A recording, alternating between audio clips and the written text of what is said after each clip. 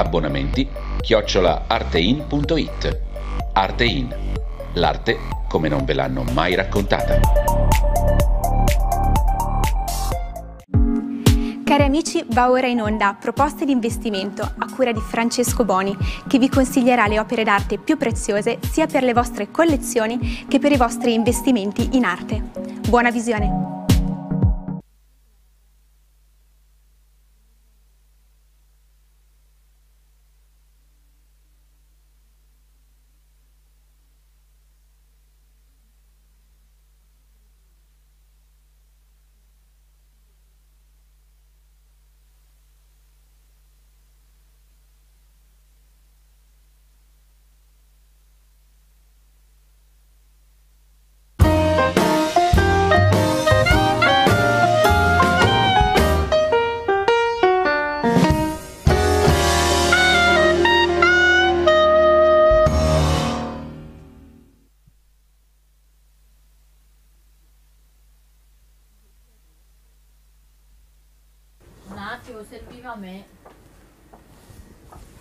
Scusi che è cominciata la trasmissione?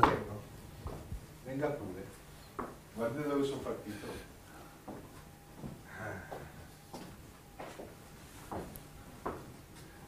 Carissimi amici, buona giornata. Abbiamo cominciato bene, eh? abbiamo cominciato con un Apollo. Eh? Eh, questo Apollo, questo mito. Eh, lo sapete che Apollo è colui del Cnotis Auton? Eh, quindi del conosci te stesso. Quindi eh, è un Dio molto particolare, eh, eh, figlio naturalmente figlio di Giove, questo è ovvio, di Latona è ovvio, Latona e Giove, era un Dio molto particolare eh, perché eh, era il Dio che doveva risolvere le problematiche dell'individuo, no? quello che eh, poteva essere straordinario sia nel bene che nel male. Eh, come spesso accadeva agli dei, no? eh, una delle caratteristiche della, eh, della, del mondo classico è il fatto che il divino non è che fosse sempre disposto al bene, eh? poteva essere disposto al bene ma poteva essere vendicativo, eh, poteva essere anche eh, cattivello, nel vero senso eh, della parola. Eh, comunque, eh, questo è un quadro di De Chirico che io conosco eh, da quando ero bambino. Posso dire che lo conosco da quando gliel'ho visto fare, eh? perché questo è un quadro che De Chirico dipinse, ehm, eravamo nel 70, eh, ma lo dipinse per se stesso. Eh, tant'è vero che il quadro eh, non ha fatto giri di proprietà, eh, non è eh, stato venduto a tizio, all'ingegner tale, all'avvocato talaltro.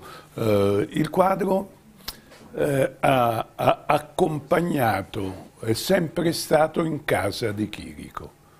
è sempre stato in casa di Chirico, poi Isa personaggio molto...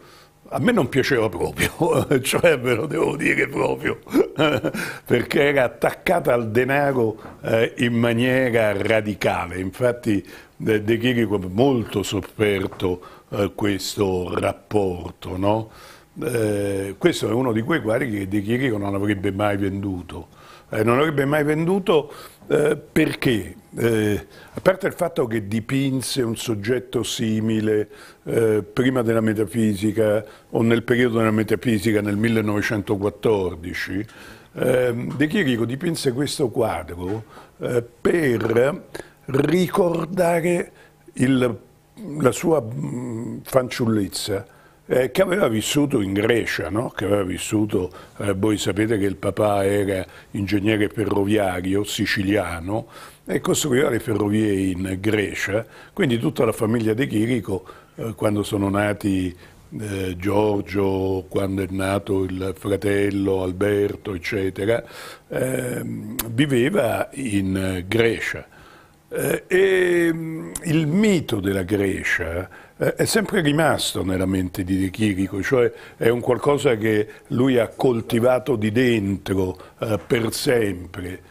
E eh, come dice giustamente Maurizio Paggiolo dell'Arco eh, nella sua autentica, perché questo è un quadro eh, iperautenticato, cioè eh, chiunque ha frequentato Casa di Chirico lo conosce, eh, quindi sai, eh, sono quei quadri eh, che proprio eh, dice, questo è il quadro che era appeso in casa di Chirico, capite? E, e, il tema è proprio quello del mito di Apollo, questo mito eh, che va dal bene al male, eh, dalla giocosità all'ironia eh, fino a, alla vendetta. Quindi eh, questo mito molto discusso eh, che si identifica poi con le caratteristiche dell'essere umano, no? che si identifica proprio con le... De Chirico aveva questa adorazione. Quindi pensate voi la mia emozione eh, nel rivedere quest'opera. Ho con la stessa cornice, eh, che eh, è una cornice antica, una cornice eh, settecentesca, eh, che De Chirico aveva fatto fare eh, ad un corniciaio che io conoscevo molto bene, che aveva la sua bottega in via Mario de Fiori, quindi proprio vicino Piazza di Spagna. quindi una di quelle opere che eh, ti colpiscono da dentro, no? eh, una di quelle opere eh, che ti, ricorda, ti fa ricordare mille episodi, eh, tutti i contatti con Giorgio Di Chirico, eh, la mia ammirazione per Giorgio Di Chirico, io lo vidi eh, per la prima volta dai Russo, dai fratelli Russo, dove lavorava mio padre, che avevo sei anni, quindi per me era un mito. E il fatto che poi, eh, quando ho cominciato la professione, eh, sia stato lui eh, a darmi i, i, rudimenti essenziali, eh, per me è un motivo di orgoglio e di onore eh, come eh, per poche persone. Quindi ho sempre adorato, e poi ho avuto la fortuna di seguirlo, ho avuto la fortuna di seguirlo fino alla sua scomparsa. Quindi eh, questo quadro mi ricorda proprio eh, questo rapporto. No? Eh, è difficile eh, ritrovare in commercio dopo anni eh, le opere eh, che erano poste in casa di Chirico, cioè le opere che lui amava, dalla più piccola alla più grande. Quando tu ti metti in casa un quadro, non so se per te Carmelo è la stessa cosa, eh, io mi metto in casa eh, dei quadri che rappresentano qualcosa al di là di quello che è il valore economico, eh, al di là di quello che può essere la rarità dell'artista o l'importanza dell'opera. Eh, non è che tu ti metti in casa un quadro, almeno io, eh, perché è importante. Eh, ti metti in casa un quadro perché lo senti, ti ricorda qualcosa, eh, ti stimola un pensiero, ti stimola un sentimento, eh, una, eh, una, memoria, un'attualità. Eh, ci deve essere una ragione per la quale tu ti leghi a un quadro. No? Eh, legarsi a un quadro è una specie di innamoramento. Almeno per me è così. Eh,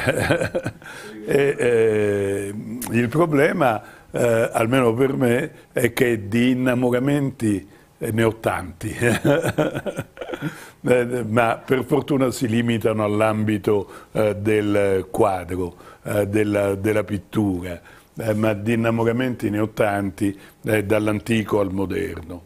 E questo ve lo dico francamente, è una di quelle opere di Giorgio De Chirico che porterei a casa volentieri, al di là della dimensione, eh, proprio per le memorie che porta con sé e per il significato dell'opera. No?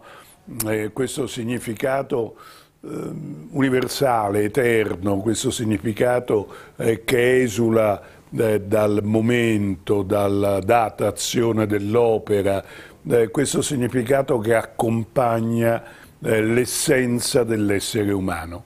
lo trovo eh, uno dei quadri più affascinanti, eh, è uno dei quadri, eh, a me mi emoziona perché capite, eh, l'ho visto nascere, eh, l'ho visto eh, nel momento in cui De Chirico l'ha abbozzato, l'ho visto disegnare, capite? e quindi naturalmente è un quadro che mi suscita delle emozioni particolari, delle emozioni straordinarie, lo adoro eh, letteralmente lo adoro.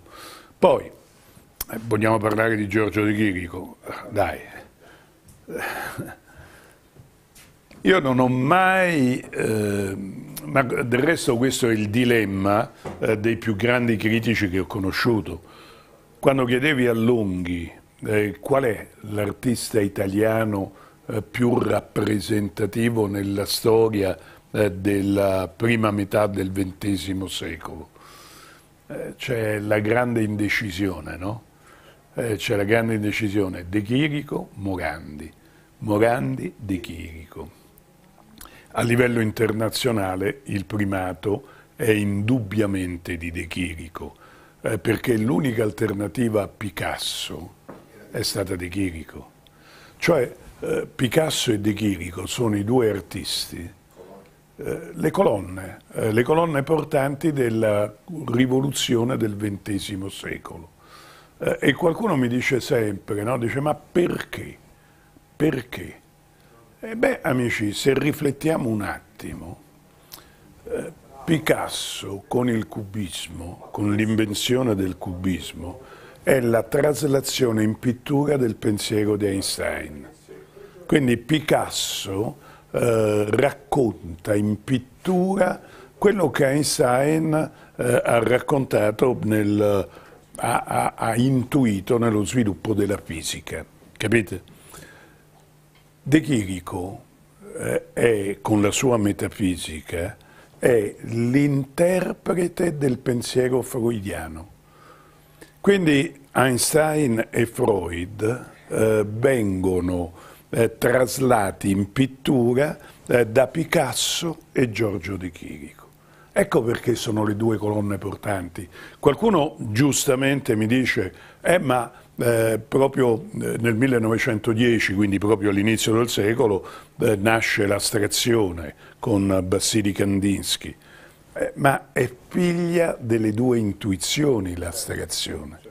Capite? Quindi importantissima, eh? tant'è vero eh, che eh, l'astrazione poi con tutte le sue coniugazioni, no? Eh, dopo è stata coniugata astrazione geometrica, eccetera, eh, coniugata in mille, eh, sì, mille varianti, però è figlia di queste due clamorose intuizioni. Quindi Morandi, straordinario, quando i pochissimi quadri metafisici di Morandi eh, sono emozionanti. Perché? Eh, perché Morandi applica alla metafisica di Chirichiana il senso del colore, quindi eh, quell'emozione cromatica che in De Chirico è più legata alla realtà, eh, in Morandi diventa ehm, fantasma eh, diventa racconto animistico, eh, diventa, capito? Eh, quindi c'è quella intuizione tonale eh, in Morandi che è clamorosa e una bottiglia di Morandi eh, si trasforma in un oggetto che non solo è un oggetto universale, ma è un oggetto che contiene la vita universale. Eh, quindi, eh, dai, i grandi artisti sono i grandi artisti, non c'è niente da fare. Eh, poi ci sono, oh, naturalmente, è fondamentale comprare le opere di qualità di un grande artista. Qualcuno mi dirà, sai, ma questo quadro è piccolo. Sì, perché eh, eh, l'Antonello da Messina più famoso del mondo quanto è grande. Eh? Eh, il Van Eyck dei coniugi Arnolfini quanto è grande. Eh, eh, la canestra di Caravaggio quanto è grande. Eh, quando tu vai all'Ambrosiana, eh, il gran finale, no? ti aspetti il gran finale, le coupe de théâtre, no? Eh, quando tu eh, visiti un museo ti aspetti il gran finale, il colpo di teatro, il botto, poi ti trovi di fronte a un quadretto così che dici ma come? Però eh, in quel quadro c'è la vita, c'è tutto. Eh, c'è tutto, eh, sono le grandi emozioni e in questo quadro eh, c'è tutta la storia e la psicologia di Chirichiana. Eh, in quest'opera non solo c'è eh, la manualità pittorica di Giorgio De Chirico, ma c'è tutto lo spirito, c'è tutto l'uomo di Chirico, c'è tutta l'anima di Giorgio De Chirico. Eccola qua, eh, la mitica canestra di Caravaggio. Eh, ma mm, sapesse le discussioni che ho fatto su questo quadro eh, con Maurizio Fagiolo dell'Arco, eh, con Giuliano Briganti, eh, con Bigetti, eh, qualcuno sostiene che è un frammento. Io dico di no, io dico di no. È concepito così, proprio come allegoria della bellezza e al tempo stesso della eh, fugacità della vita. Cioè la bellezza accompagna la vita in una stagione poi eh, appassisce, poi diventa, vedi quella foglia eh, viva sulla sinistra e quella foglia secca eh, sulla destra. Vedi la mela bellissima, fiorente, che ha un piccolissimo baco e che naturalmente quel baco eh, la farà decadere. Eh? Eh, eh siamo eh, di fronte ad un'allegoria del tempo e della vita eh, letteralmente straordinaria, come letteralmente straordinario è il dipinto che vedete alla mia sinistra di Giorgio De Chirico. Eh, oggi eh, vi faccio vedere dei quadri, quelli che io chiamo i quadri storici, eh, quelli che io chiamo i quadri fondamentali eh, per una collezione, eh, perché espressione alta eh, del pensiero dell'artista. comprare De Chirico oggi Vedete, quando compri De Chirico, quando compri Morandi, eh, quando compri Picasso, quando compri De Pisis, eh, quando compri Fontana, eh, quando compri, eh, che ti posso dire, io ti parlo dei pittori che amo in modo particolare, quando compri il Guidi Sublime, quando mi compri il Guidi d'Atelier non, non, non me ne importa niente. Eh, se voi conosceste eh, il mondo eh, degli archivi, il mondo dei cosiddetti sapienti, il mondo eh, che si dà un sacco di arie eh, e che spesso e volentieri è assolutamente vuoto e incolto, eh, è solo ricco di denaro, eh, ma povero di idee e di sentimenti e di rispetto della verità eh, altro che povero, eh, è addirittura avaro, è addirittura eh, alla Molière. Eh? Eh, vi ricordate l'avago la, la di Molière nell'interpretazione di Alberto Sordi? È fantastico, quel, eh, l'amore per il denaro, no? eh, mi fa pensare a Isa De Chirico, eh, ma mi fa pensare a tanti personaggi che oggi sono eh, incensati eh, nel mondo dell'arte perché detengono eh, l'archivio tale, l'archivio tal'altro eh, e che lo usano ma lasciamo perdere, va. ma lasciamo perdere, eh, perché se no eh, il discorso diventa molto... oh, come ci sono le mele bacate, ci sono le mele perfette. Eh? Quindi eh, come ci sono gli archivi che odio, eh, perché... No, non mi voglio arrabbiare. Eh, ci sono gli archivi che non amo eh, perché non rispettosi della verità, eh, ci sono gli archivi che adoro eh, perché tenuti in maniera scientifica. Eh, quindi eh, mai pare di ogni erba un fascio. Quando si dà un potere assoluto c'è chi lo usa meglio di altri e c'è chi lo usa peggio di altri. Io sono dell'opinione che non bisogna mai dare un potere assoluto a nessuno, nemmeno a me, nemmeno a me stesso. Ma Savinio può competere con qualsiasi artista al mondo eh, perché eh, il surrealismo di Savinio è letteralmente straordinario. Però eh, devo dire io che eh, li ho conosciuti tutti e due, Morandi meno, eh, Morandi eh, ti dovevi inchinare. Eh, Morandi l'ho conosciuto bene attraverso Roberto Longhi, eh, attraverso i racconti di, di, di Longhi. Eh, Savinio meglio eh, attraverso Di Chirico, anche se eh, molti dicono che non si amavano, non è vero assolutamente, non è vero assolutamente, i due fratelli si amavano eh, non erano d'accordo su delle eh, situazioni storiche, concettuali, eh, cioè eh, avevano ehm, convinzioni, eh, convinzioni culturali divergenti. No? È come il fratello di destra, uno può essere, eh, io e mia sorella, eh, per esempio, ci adoriamo, eh, ma quando parliamo di politica discutiamo, eh, perché eh, abbiamo opinioni differenti.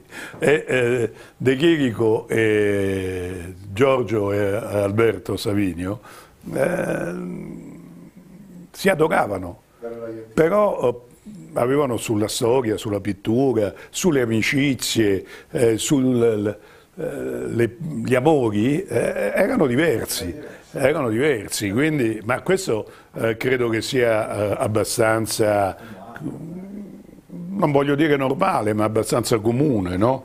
eh, mi sembra che sia una cosa abbastanza eh, semplice. Dal punto di vista pittorico, paragonare il surrealismo di Savinio al tonalismo di Morandi è un po' azzardato, eh, perché sono due ricerche eh, completamente diverse. Certo, qualcuno mi potrà dire eh, il periodo metafisico di Morandi eh, può avere uno spunto, eh, ma eh, non è uno spunto alla Savinio, è uno spunto alla De Chirico, che come vi dicevo prima lui interpreta diversamente da De Chirico proprio secondo la sua natura, secondo il suo istinto d'artista in chiave tonale. Quindi eh, fare un paragone in ambito pittorico tra Savigno e Morandi eh, sono due ricerche eh, molto diverse. Eh, Savigno è molto legato eh, a Breton, eh, Savigno è molto legato concettualmente ad Apollinaire, quindi siamo in un mondo eh, diverso, siamo in un mondo più europeo, più francesizzante. Eh? Eh, Morandi è, è, un mondo prettamente morandiano, eh, perché Morandi a chi lo paragoni? Eh, cioè, eh, non c'è il paragone. Morandi è Morandi.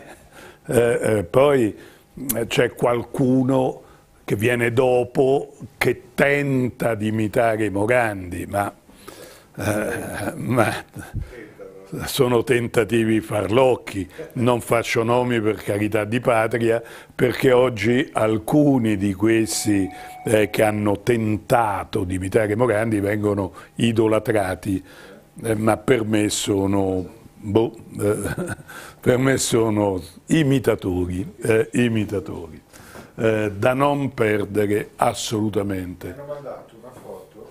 Ti hanno mandato una foto? Foto ricordo? Eh? Una foto ricordo mia? Eh, Mamma mia! sì, Ma dove l'hai presa? eh, gli archivi, gli archivi. Vedi, eh, i miei amori, eh, lo posso dire, i miei amori, Caravaggio e mia moglie. i miei amori. Eh, bella, bella questa foto. Eh, me la devi dare perché io non ce l'ho. Eh.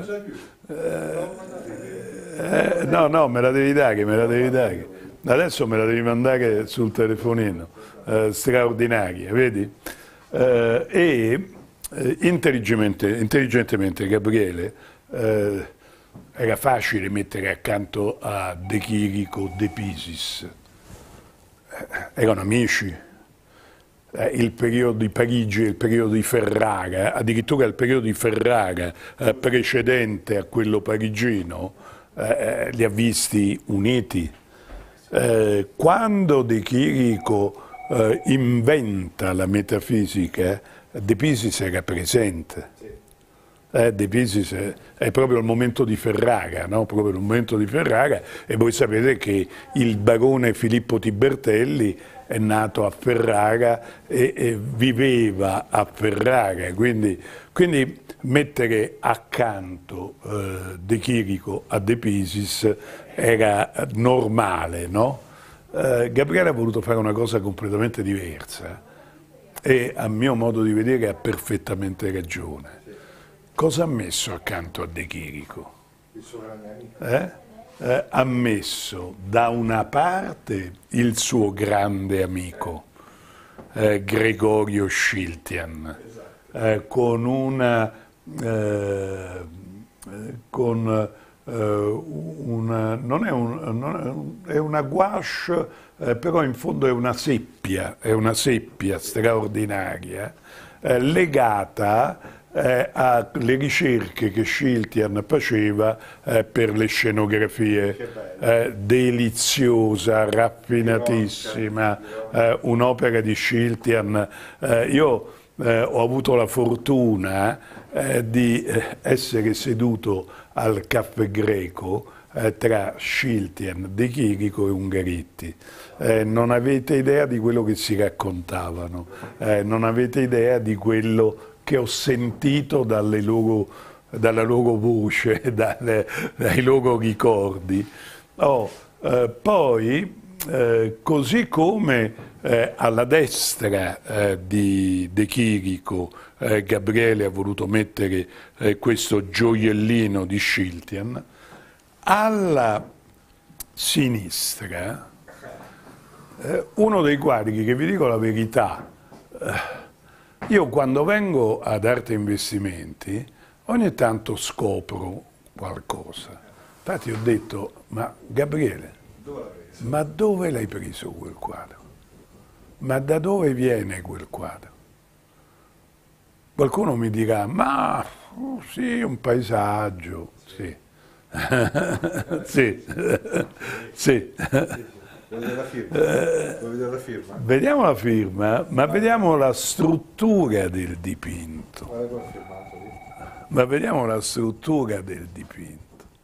Questa è un'opera di Leonardo Dudreville del 1920. Capito? Quindi non il Dudreville anziano, eh, non il Dudreville eh, degli anni 60, eh, non il Dudreville stanco, no, eh, il Duderville immediatamente dopo la prima guerra mondiale.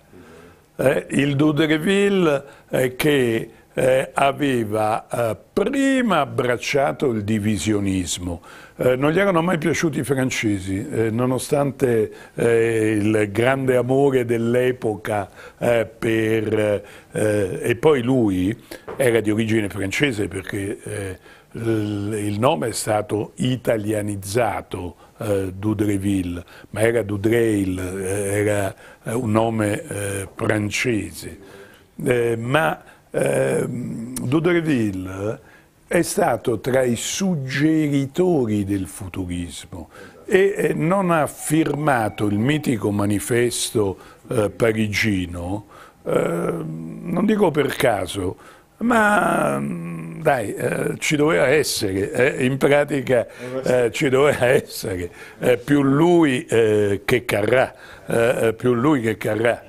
L'opera che state vedendo, ma del resto vai alla Galleria Nazionale d'Arte Moderna di Roma, trovi i quadri più famosi di Dudreville, vai qui a Milano alla Galleria d'Arte Moderna, eh, trovi le opere più clamorose di Dudreville.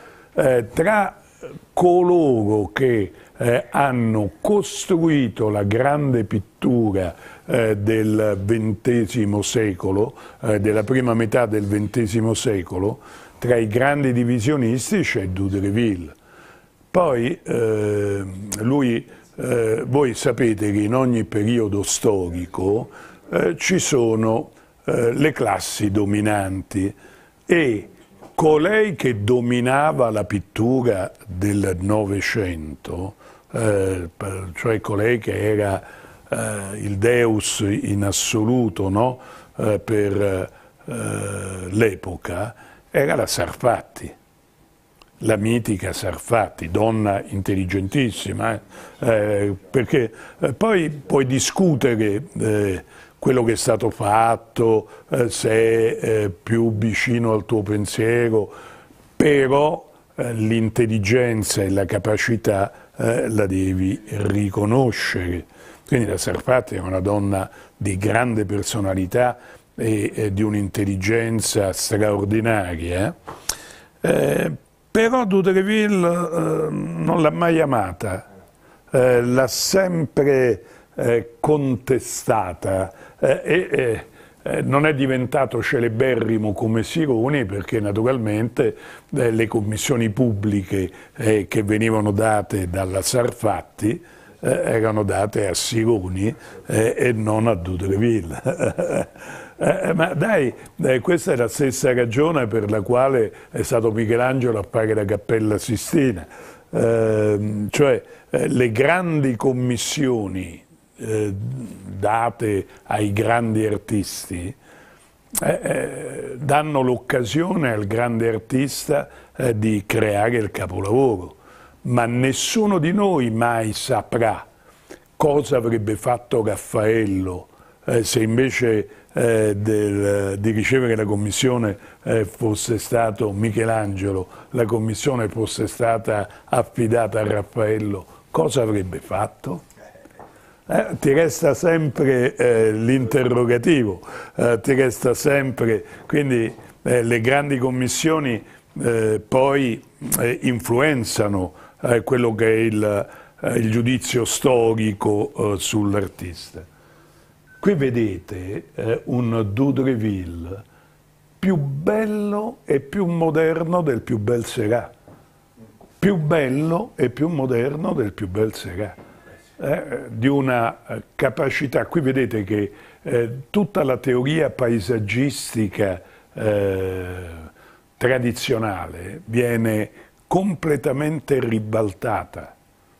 Eh, eh, proprio c'è la ricerca della luce. non è più importante ciò che dipingi, ciò che vedi, ma sono fondamentali i rapporti luminosi che eh, esistono in natura. E qui Dudreville ci dà eh, un esempio eh, clamoroso, eh, ci dà eh, un'immagine letteralmente straordinaria di quella che è la sua capacità pittorica. amici, li vedi gli oggetti da museo? Oh, tu puoi andare da tutti i mercanti d'arte d'Italia e del mondo. Eh, tu puoi assistere a tutte le emittenti televisive eh, che propongono opere d'arte, eh, ma dei gioielli di questo livello, ai prezzi eh, che eh, Arte Investimenti riesce a proporvi, eh, non ve li dà nessuno non ve li dà nessuno. E voi sapete che il mercato dei prossimi dieci anni sarà sia quello italiano che quello internazionale, eh, sarà orientato verso il recupero dei grandi del XX secolo, il recupero del Novecento. Ormai eh, quello che, ma poi vedete le mostre che si stanno preparando, ragionate con la testa, eh, ragionate con la testa. Eh, io ho cercato di spiegarvelo un milione di volte. Eh, I prezzi che impone il mercato, i prezzi che impone il sistema, eh, sono in funzione degli investimenti fatti sulla visibilità eh, internazionale di determinati artisti. E oggi eh, i grandi mercanti, eh, non solo italiani, eh, europei e americani, tendono a un recupero formidabile delle grandi firme del XX secolo che, eh, visto eh, che eh, gran parte del lavoro economico è stato fatto eh, sulla seconda metà del XX secolo, eh, quindi c'è poco da speculare eh, sui protagonisti eh, della seconda metà del XX secolo, adesso il sistema che vuole guadagnare eh, ha ricomprato, mentre vi vendeva i Fontana, eh, mentre vi vendeva i Boitti, mentre vi vendeva i catering, eh, mentre vi vendeva gli Andy Warhol, eh, i prezzi del Novecento eh, si sono abbassati eh, in maniera radicale e con i soldi che il sistema, che gli operatori finanziari hanno guadagnato eh, sul, sul, seconda parte del Novecento, eh, sugli artisti che vi ho appena eh, nominato, e ve ne posso aggiungere tanti altri, questo è ovvio, eh, eh, cosa stanno facendo? Cosa hanno fatto? Hanno ricomprato i capolavori, le opere più clamorose del Novecento, che adesso vi imporranno eh, ai nuovi prezzi, ritorneranno di moda e eh, il, la grande operazione finanziaria dei prossimi dieci anni è legata al recupero dei grandi eh, sottovalutati del primo Novecento. Eh, poi i più importanti se li sono portati nei musei internazionali. Eh, io vi sto dando due gemme, eh, due gemme incancellabili nella storia dell'arte a un prezzo ancora umano, a un prezzo piccolo rispetto al taglio di Fontana, a un prezzo piccolo rispetto alla carta geografica di Boetti, a un prezzo inesistente rispetto al catering o al, o al Tombley o al Rauschenberg, ma a un prezzo inesistente anche rispetto a Tapies. Ma eh, vi rendete conto eh, di come si fanno i soldi e come si investono i denari. Se hai un po' di denari oggi, eh, quest'opera di Dudreville e quest'opera di Giorgio De Chirico le devi comprare immediatamente. Tutte e due. Tutte e due. Tutte e due. Eh, perché è evidente eh, quale sarà eh, e quale già è perché io parlo al futuro, eh, ma invece già è in atto, già è cominciata eh, la speculazione finanziaria eh, su questo periodo storico. Quindi eh, uno che ha un po' di soldi e un po' di capoccia, a me mi sono sempre mancati il po' di soldi, eh, perché per tanti motivi, eh, ma se hai un po' di soldi e un po' di testa, ma non ci pensi un minuto. Che te compri? Il Rosai? Ma devi comprare non i pittori minori, devi comprare i protagonisti assoluti. Che te compri? Il cantatore, il fiume? Eh, eh dai, eh, quelli sono eh, fragili eh, storicamente. Eh, devi comprare i colossi, quelli incancellabili nella storia dell'arte. dimmi chi va a cancellare De Chirico nella storia dell'arte? Chi? Dove? Quando? Perché? Eh, dimmi eh, le rarissime opere di Doudreville che eh, sono in tutti i più grandi musei del mondo eh, possono essere cancellate. E tu trovi due gemme ancora a un piccolo prezzo e tu trovi due opere clamorose, eh, due opere importanti che ho cercato.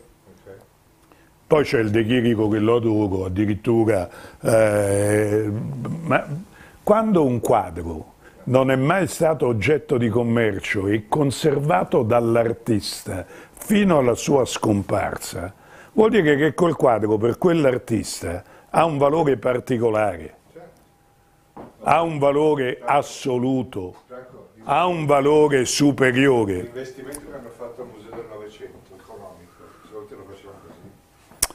Ma dai, eh, quando eh, si tratta di investire, oh, e qui i prezzi sono ancora umani, eh, eh, non c'è bisogno di andare a parlare dei milioni eh, come adesso devi fare eh, per un tagliettino di fontana, ma ci pensi, tu paghi 40.000 euro eh, un quadretto di Boetti, quattro lettere, fondo bianco, lo paghi più di quest'opera di Giorgio De Chirico. È da imbecilli. Ma il sistema di mercato, la speculazione, gioca su questo. E, e voi non ve lo volete mettere in testa, io faccio l'affare, sì, fai l'affare, eh, tu arricchisci il sistema, quale affare? Quando rivedi vedo 100 Eh. Quale affare? Eh, quando te lo facevo comprare io a 300.000 lire, eh, quando te l'ho fatto comprare a 2.000 euro, quando te l'ho fatto comprare a 5.000 euro, quando te l'ho fatto comprare a 10.000 euro, facevi un intelligente investimento. Oggi arricchisci eh, chi ha costruito intelligentemente quell'operazione. Eh, questa è la verità e chi vi dice il contrario è un bugiardo. Ma eh, il commerciante deve fare i suoi affari, non fa mica gli affari tuoi.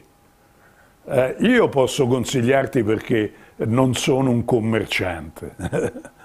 Tutto sono meno un commerciante e non l'ho mai saputo fare, il commerciante. No, ma non, no, non l'ho mai saputo fare il commerciante. Eh, ci vuole troppa passione, hai ragione di te. Eh, eh, troppa passione. Il commerciante è cinico, il commerciante è programmatore, il commerciante non ti dice la verità manco se gli spari, Eh, perché, ma giustamente perché fa il suo mestiere e se lo deve fare bene lo deve fare così. Eh, eh, no, deve essere cinico, eh, deve essere, eh, ma è fondamentale. Il grande venditore eh, è un cinico, è, è uno che pensa eh, solamente a- al proprio tornaconto. Io non vi ho mai venduto un quadro mio, quindi figuratevi, figuratevi. Non perdete le opere clamorosamente vincenti. Avete due opere a disposizione, eh, guardate, fatemi mille domande. Esatto. Eh, fatemi mille domande, eh, ma ve lo chiedo veramente da fratello, eh, queste opere non perdetele. Eh. Questo costa 1900 euro. Invece di comprarvi un pernacchione qualsiasi, eh, comprati un pezzo di storia eh, con 1900 euro. Questi due eh, costano di più, indubbiamente, Eh, ma eh, sono le opere che nei prossimi dieci anni diventano irraggiungibili per chi non è ipermilionario, eh, per chi eh, non può investire milioni in arte. È evidente eh, che queste opere diventano irraggiungibili. Allora, eh, vi voglio far vedere un'altra gemma, eh, che è un altro regalo. Eh, questo era il pittore più amato da mio nonno. Sì. Eh, lui eh, nasce a Firenze, eh, guardalo qui. Eh, io nella bottega di mio nonno eh, vedevo, i, tutti, vedevo, le opere di Spadini. Armando Spadini a Roma eh, negli anni 30 era un mito, era una leggenda, era un punto d'arrivo, era uno degli artisti fondamentali eh, lui, vedi, nasce da un ambiente culturale esattamente opposto a quello eh, di Dudreville. Eh, Spadini nasce eh, nell'ambito fiorentino, eh, nell'ambito post-fattoriano, eh, quindi in una cultura completamente diversa. Poi si avvicina al mondo romano con eh, quelle che sono le caratteristiche eh, del mondo romano, eh, ma il mondo romano del Novecento naturalmente. Eh, guardate che gioiello, questo eh, molto probabilmente è il ritratto del figlio che gioca con il pennello e la tavolozza, che gioca con gli strumenti di lavoro eh, del padre. Quando, ma lo vedi che è bello come Renoir, eh? voi vi comprate eh, il quadrettino di Renoir che vende il grande gallerista, che poi è una cacatella, eh, a 600.000 euro, 800.000 euro, un milione, eh, il quadrettino così di Renoir è completamente insignificante. Lo sapete come la penso io? Se tu mi compri il capolavoro di Renoir e lo paghi un mare di milioni, chapeau, va bene, ma hai comprato un capolavoro. Io non sono mai d'accordo quando compri lo studio, io la chiamo la cacatella, eh, ma per renderlo più nobile eh, parli dello studio, del bozzetto, dell'opera minore, eh, di un grande nome e lo strapaghi.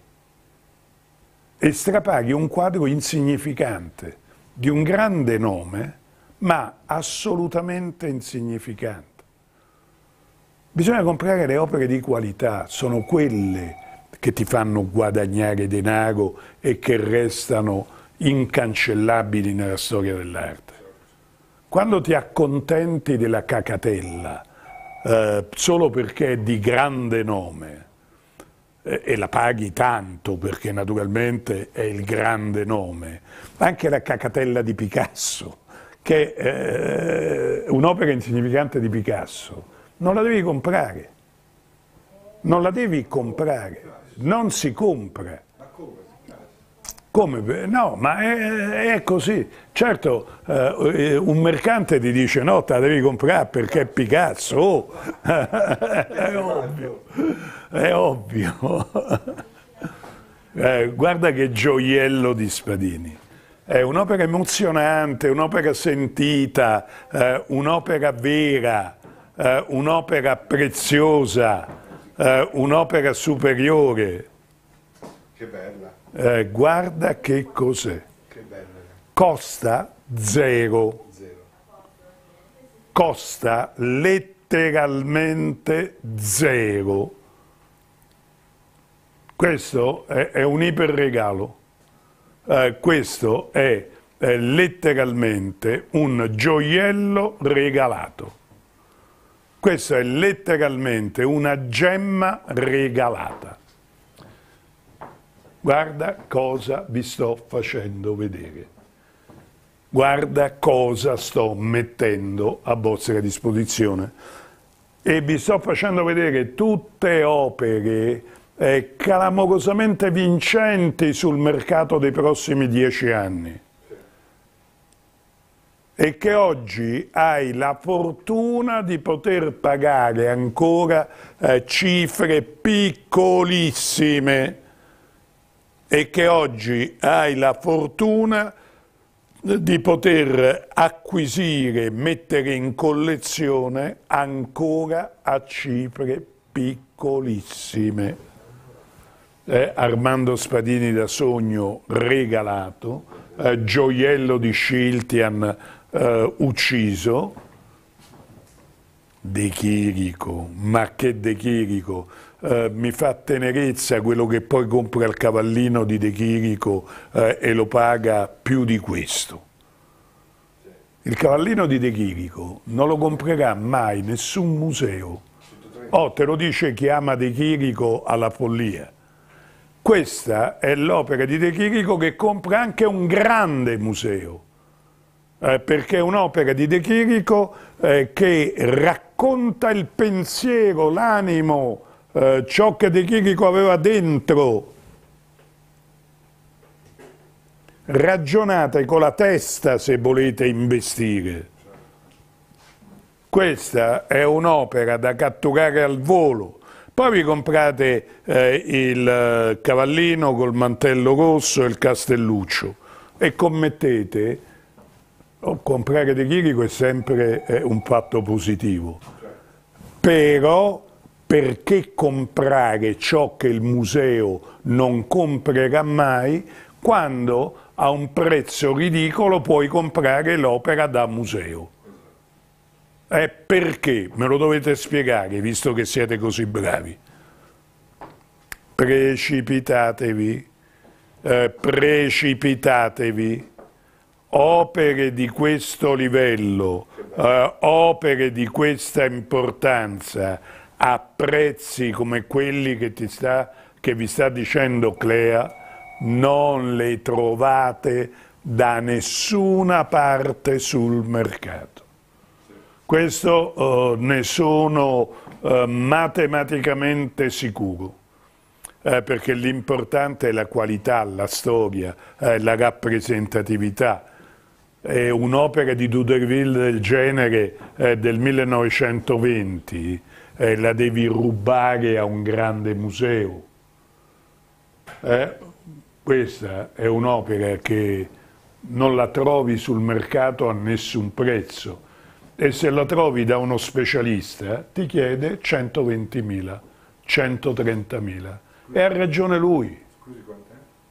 Qui costa niente, eh, qui costa niente. E ha ragione lui, e ha ragione lui, e ha mille volte ragione lui. Eh, non perdere nessuna di queste opere. Eh, non perdere eh, poi non ho capito come eh, non abbiate già prenotato eh, il gioiellino di Schiltian eh, che lo pagate quanto vale una litografia di Schiltian. Eh, lo pagate veramente il prezzo eh, di un'opera un grafica.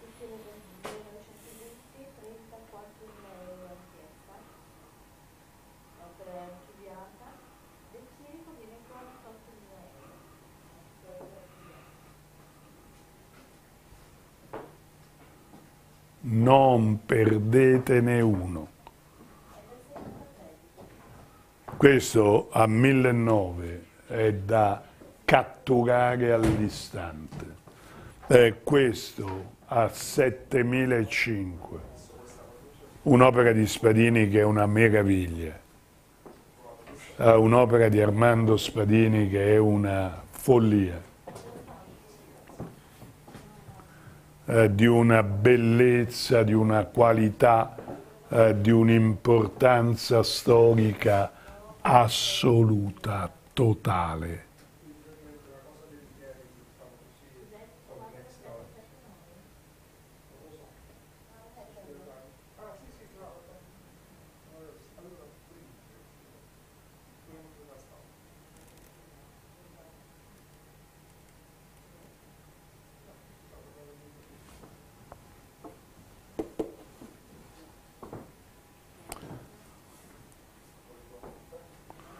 Guarda la bellezza di quest'opera. Ah, guarda la bellezza di quella gemma di Spadini. Eh. Qui siamo 1910, eh. Eh, qui siamo 1910.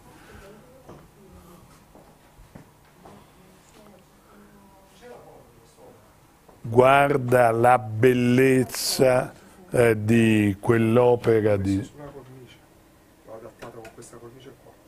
Non c'erano le cornici, sono andato di là e gli ho montato questa. Meglio si può presentare.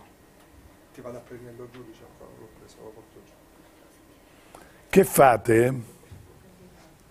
Quattro opere di questo livello esitate? Ve ne faccio vedere altre quattro. Però non urlo. Lo vedi De Pisis dipinto da De Pisis? Lo vedi De Pisis vero?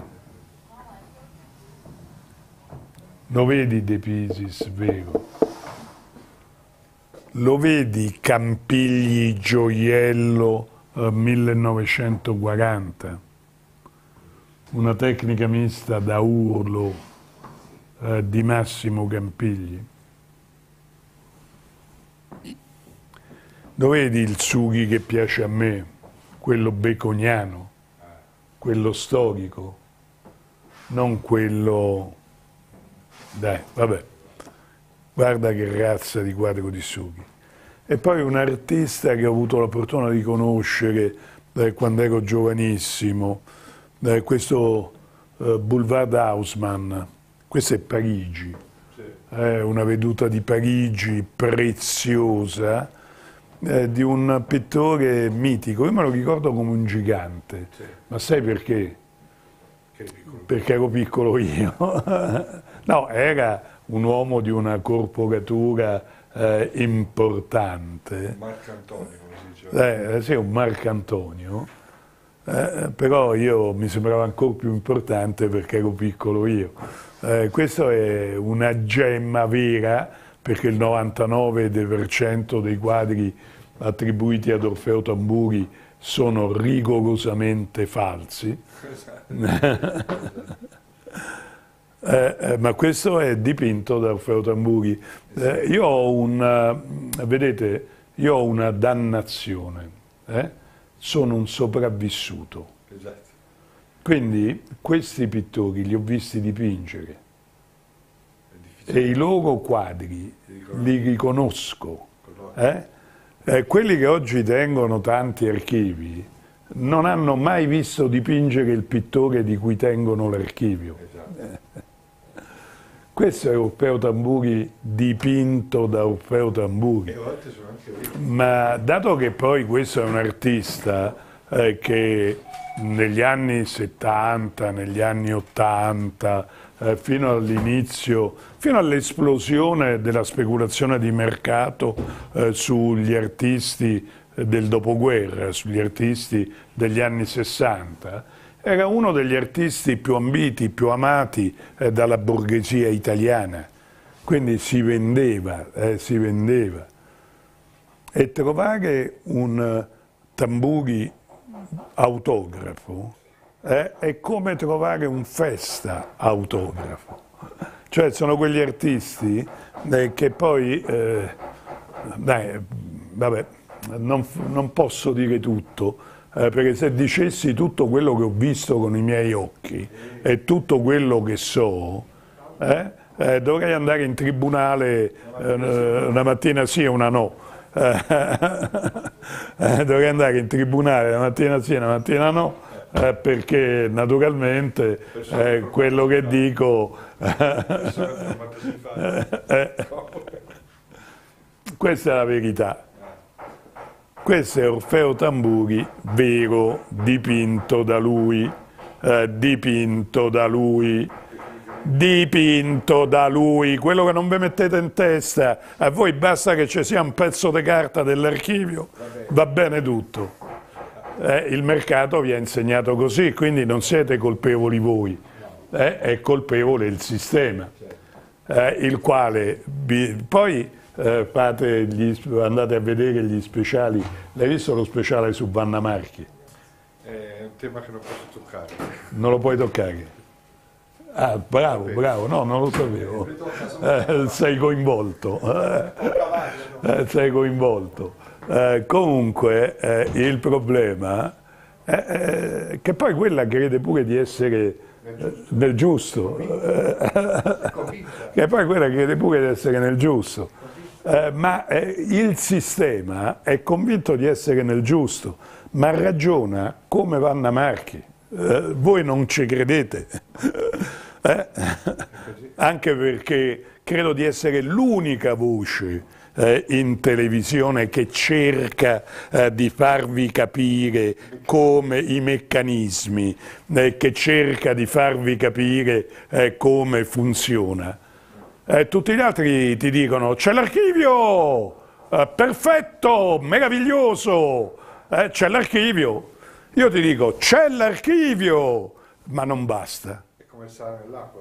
Eh, ma non basta. Eh, c'è l'archivio perché ci deve essere per legge e la legge va rispettata. Però chi vi dice che l'archivio non basta? Solo io. Solo tu. Eh? Chi vi dice che l'archivio non basta? Solo io. Anzi, io vi dico di più, perché vi dico che il fatto che un'opera non sia archiviata non è ragione sufficiente per comprarla.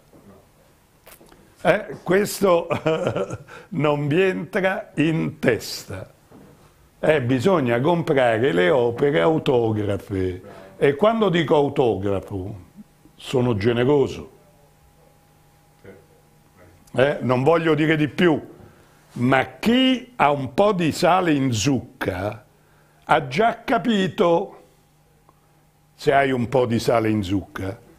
Eh, se invece eh, sei una vittima passiva, quelli che io chiamo i non pensanti aderenti al sistema, e allora, poverello, sei irrecuperabile. Ti ricordi che sale non si scioglieva?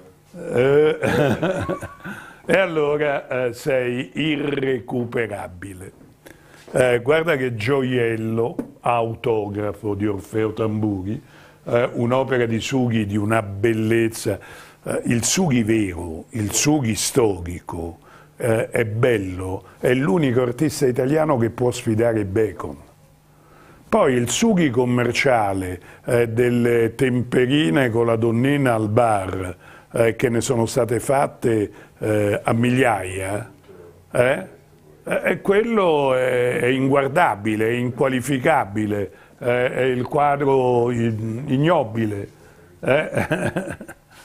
ma il Sughi vero, il Sughi della storia di un prete, il Sughi della scena della borghesia, quello è sublime, quello è uno dei più grandi pittori di figurazione della storia del dopoguerra. Eh, eh, bisogna saper distinguere eh, opera da opera, eh, bisogna saper distinguere eh, quelle che sono le opere eh, vincenti eh, e quelle che sono le opere banali. Allora, amici, eh, vi sto annoiando? Eh, evidentemente sì, eh, perché non sento domande, non sento quella vibrazione no? che dovrebbe nascere tra tra noi, eh, che dovrebbe nascere eh, tra di noi.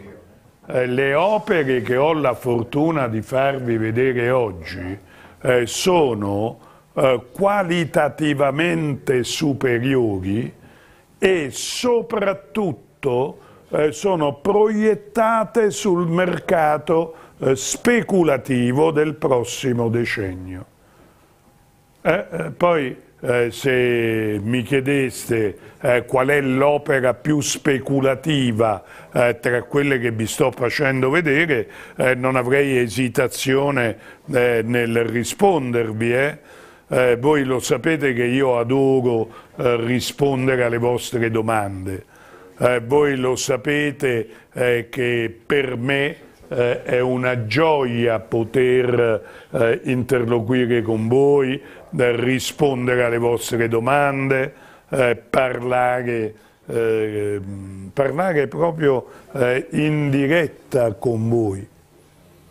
mi raccomando,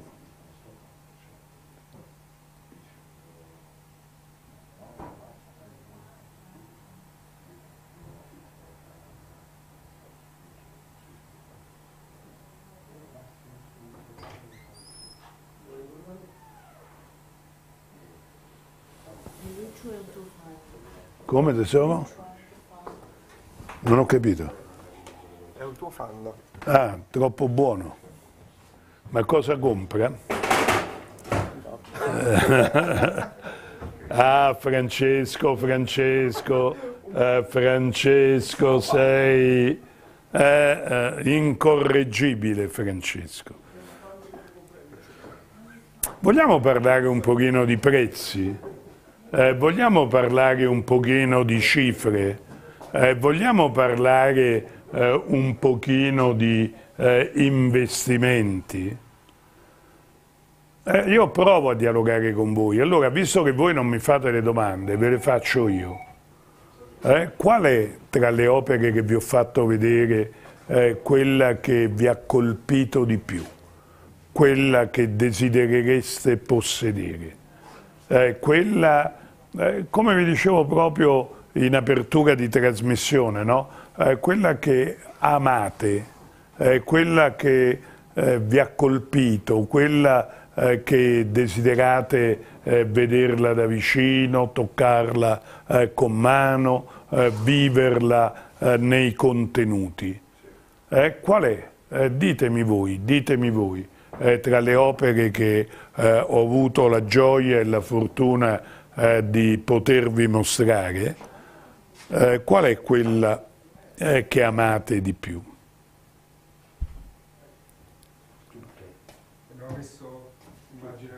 Quella. Eh.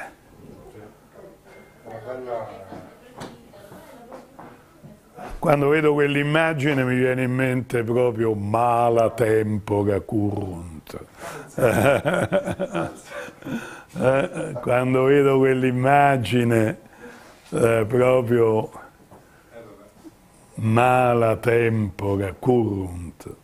E quando penso che ma vabbè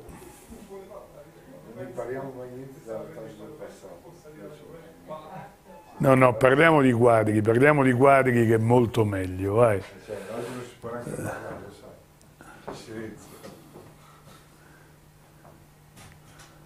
Parliamo di quadri.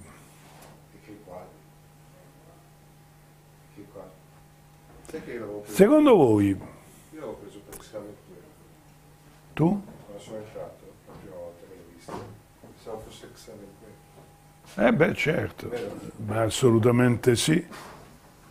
Guarda che cos'è. Quadro pazzesco di Sughi. Poi mi comprate la cosa più bella, sai qual è? Che mi comprate a 4.000 euro, a 5.000 euro le temperine delle donnine al caffè, che valgono così, zero, zero e poi a 5.000 e qualcosa eh, non prendete eh, un'opera di quel livello. Amici, dai, ma per favore, eh, ma per favore. Poi lo so che mi odiate, eh, perché tu dieci collezionisti eh, che hanno un'opera di Sughi, nove hanno le donnine al caffè, eh, quindi mi odiate. lo so, erano di moda è eh, andato di moda, è molto piacevole.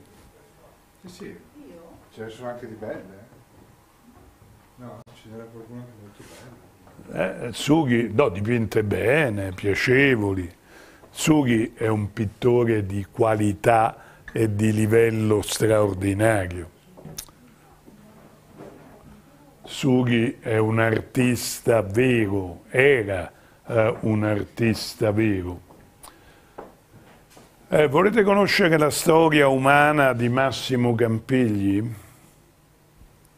Guarda questi, queste figure femminili che eh, rievocano eh, gli idoli eh, cretesi, eh, gli idoli proprio di scavo della civiltà cretese, e diventano donne, eh, per quello che ha significato la donna eh, nella psicologia eh, di Massimo Campigli e nella vita eh, di Massimo Campigli. E poi c'è quel De Pisis. Eh, poi c'è quel De Pisis che è veramente di grande qualità. Eh, letteralmente è una delle opere di livello assoluto eh, di eh, Filippo De Pisis. È una delle opere di qualità eh, e di livello assoluto eh, di eh, Filippo De Pisis.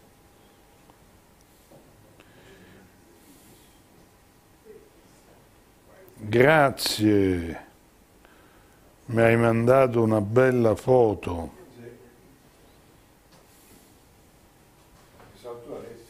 Mm. Pensavo che tu l'avessi. No, non ce l'avevo. Molto probabilmente ce l'avrà mia moglie. Ero sicuro.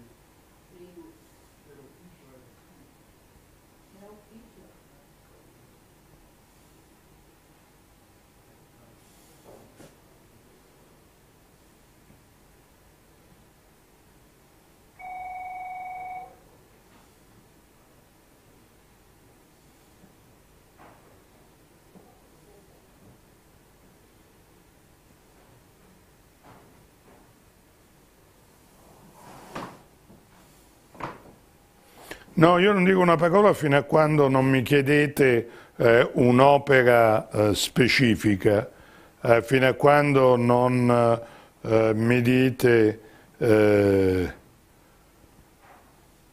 qual è il quadro che amate di più.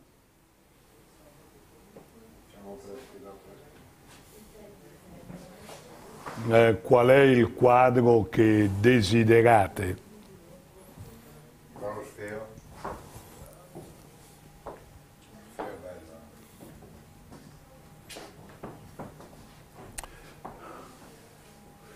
Per capire Campigli bisogna rifare la storia giovanile di Campigli, Eh, bisogna capire eh, la sua origine, lui nasce a Berlino, non si chiamava Campigli, aveva un nome tedesco, io non lo so pronunciare, una cosa, Ienfeld, una cosa del genere. E lui per anni ha creduto che la nonna che lo cresceva a Fiesole fosse la mamma. Capite? Ho scoperto da una lettera, mi sembra, che aveva lasciato una cosa Sì, sì, eh, c'era tutta una storia. incredibile.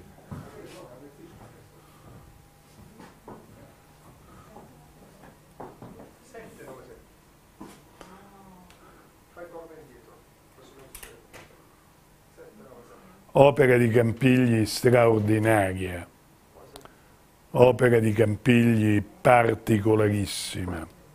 1940 e quindi eh, meravigliosa anche eh, la datazione. Ma vi posso fare una domanda? Quel gioiello di De Chirico, eh, que- quell'Apollo, chiamatelo come volete, eh, chiamatelo Febo, eh, chiamatelo Helios. Eh, perché lo chiamavano Febo, Helios? Perché era lo splendente, perché era il luminoso.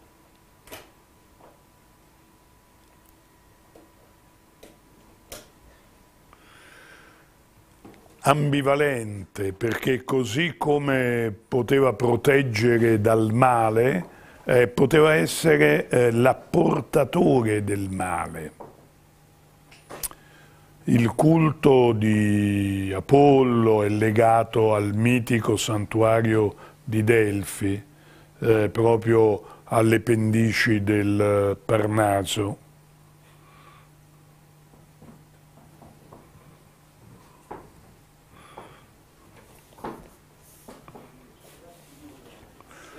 Giorgio De Chirico clamoroso, eh, Giorgio De Chirico straordinario, eh, Giorgio De Chirico meraviglioso. Eh, e vi sto dando eh, delle opportunità economiche eh, che ho cercato di spiegarvi eh, ripetutamente.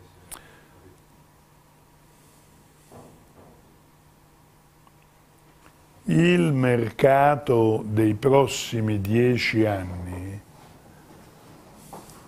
sarà eh, l'apologia eh, delle opere che vi sto eh, proponendo oggi. Eh, sarà eh, veramente il successo economico, voi mi direte, quello che costerà De Chirico fra due anni, tre anni. Voi mi direte quello che sarà il prezzo di un'opera di Dudreville eh, di questo livello fra due o tre anni. Ma voi mi direte quello che sarà il prezzo eh, di Spadini, di Sughi, eh, di eh, Tamburi eh, nei prossimi anni. Vi sto dando eh, delle opportunità importanti e eh, mi piacerebbe sentire da voi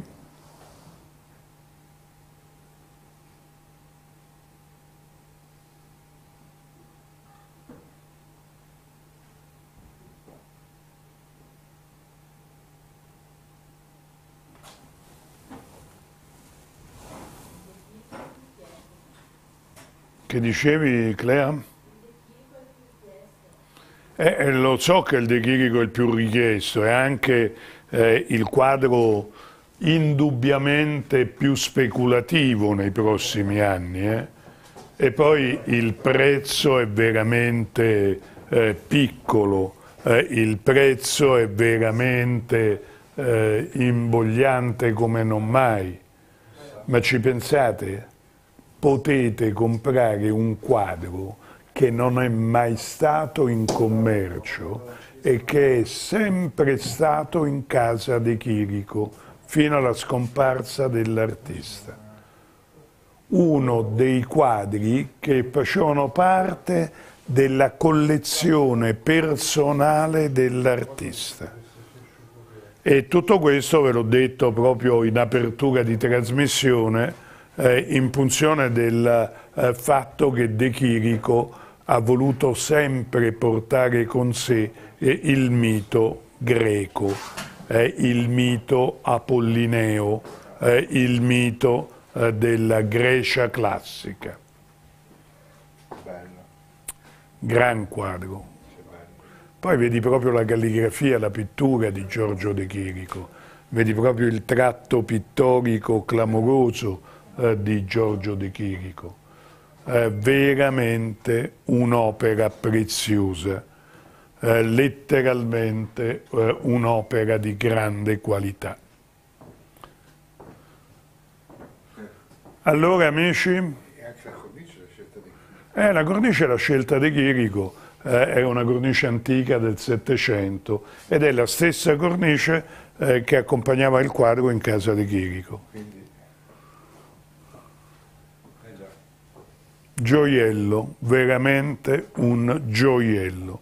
Poi, ve lo dico francamente, è quell'opera di Dudreville eh, del 1920 è un'opera da grande museo, è un'opera di livello e qualità straordinaria. A me piace da morire quel gioiellino di Armando Spadini, eh.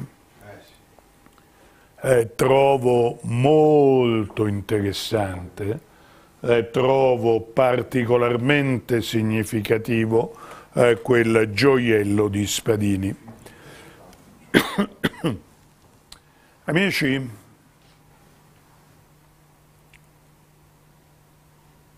parlate, parlate.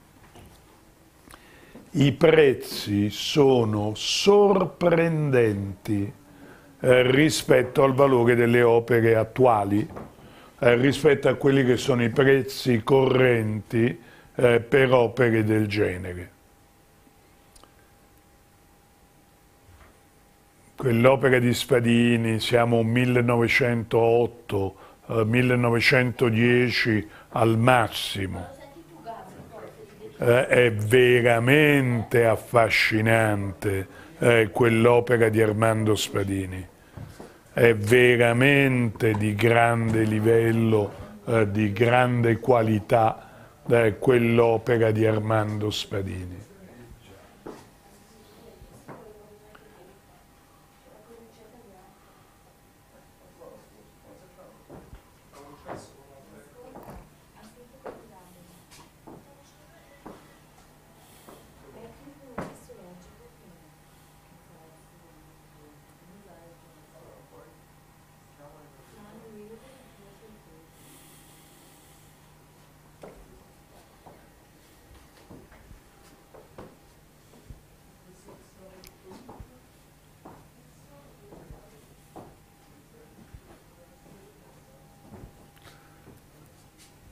Allora amici,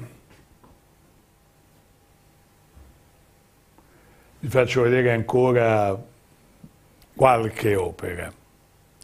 Abbiamo visto il tamburi. Quanto mi offrite del tamburi? Abbiamo visto il sughi. Che mi date del sughi?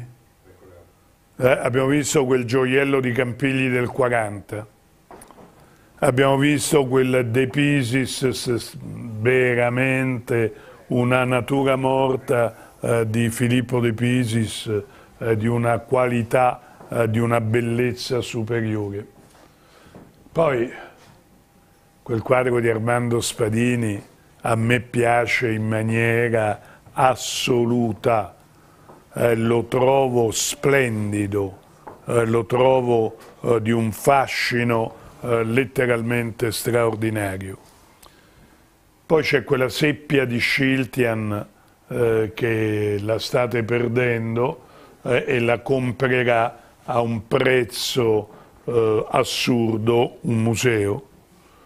Il gioiello di De Chirico, l'Apollo di De Chirico, il grande, fantastico dipinto divisionista eh, di Doudreville, eh, di Leonardo Doudreville del 1920, quindi il periodo migliore di quest'artista, e poi vi faccio vedere un crippa vero,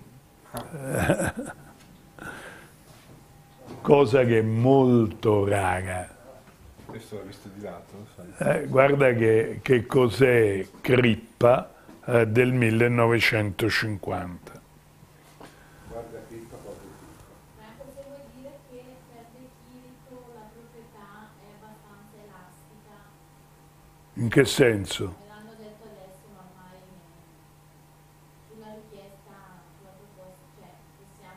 avere, capito? Allora, eh, mi dicono, amici, io ve lo giuro, non vi toglierei un euro dall'opera dall di De Chirico anzi chiederei di più, anzi chiederei di più, ma mi dicono eh, che la proprietà deve vendere. Eh, mi dicono che la proprietà è costretta a monetizzare. Quindi, se avete un'idea, formulatela chissà, chissà, chissà. Eh? Se avete un'idea formulatela, ma il, lo comprate al prezzo di un cavallino. Ma questo vale il doppio di quello che vi ha chiesto Clea. Eh, ma questo vale il doppio eh, di quello che vi ha chiesto Clea. Eh, precipitatevi perché le grandi opportunità eh, o le prendi al volo uh, o le perdi per sempre. E poi vi devo dire che questa opera di Doudreville uh, del 1920 è letteralmente fantastica. Qualcuno mi rimprovererà perché eh, amo toccare il quadro eh, e hanno ragione gli amici eh, che mi rimproverano, eh, ma è troppo l'amore che ho per i quadri. Eh, lo faccio, prima mi asciugo la mano, eh. prima mi asciugo la mano. Precipitatevi.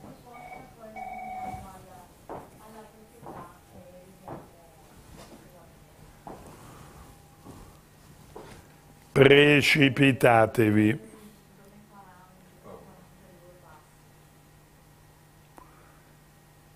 Ma di meno quanto? Voglio rivedere De Chirico. Eh.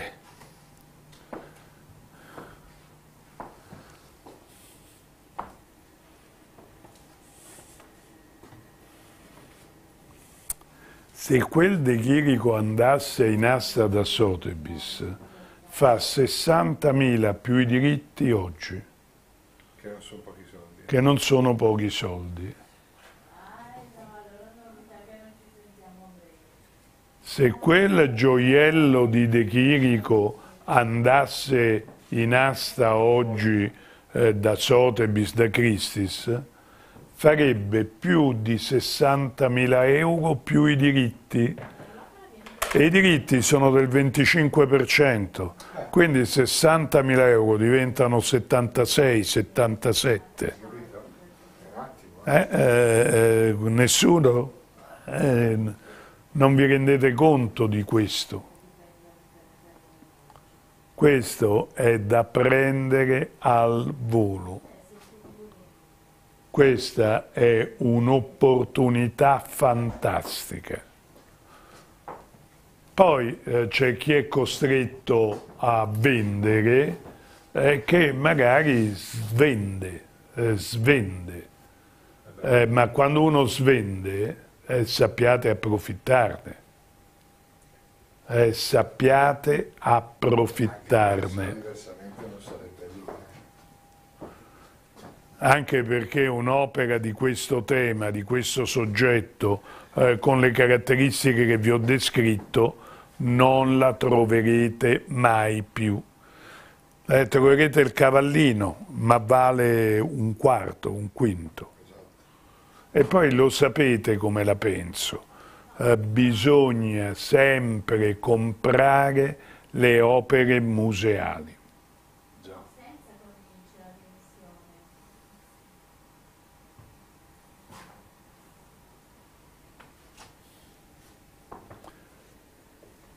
Bisogna sempre comprare le opere di grandissima qualità.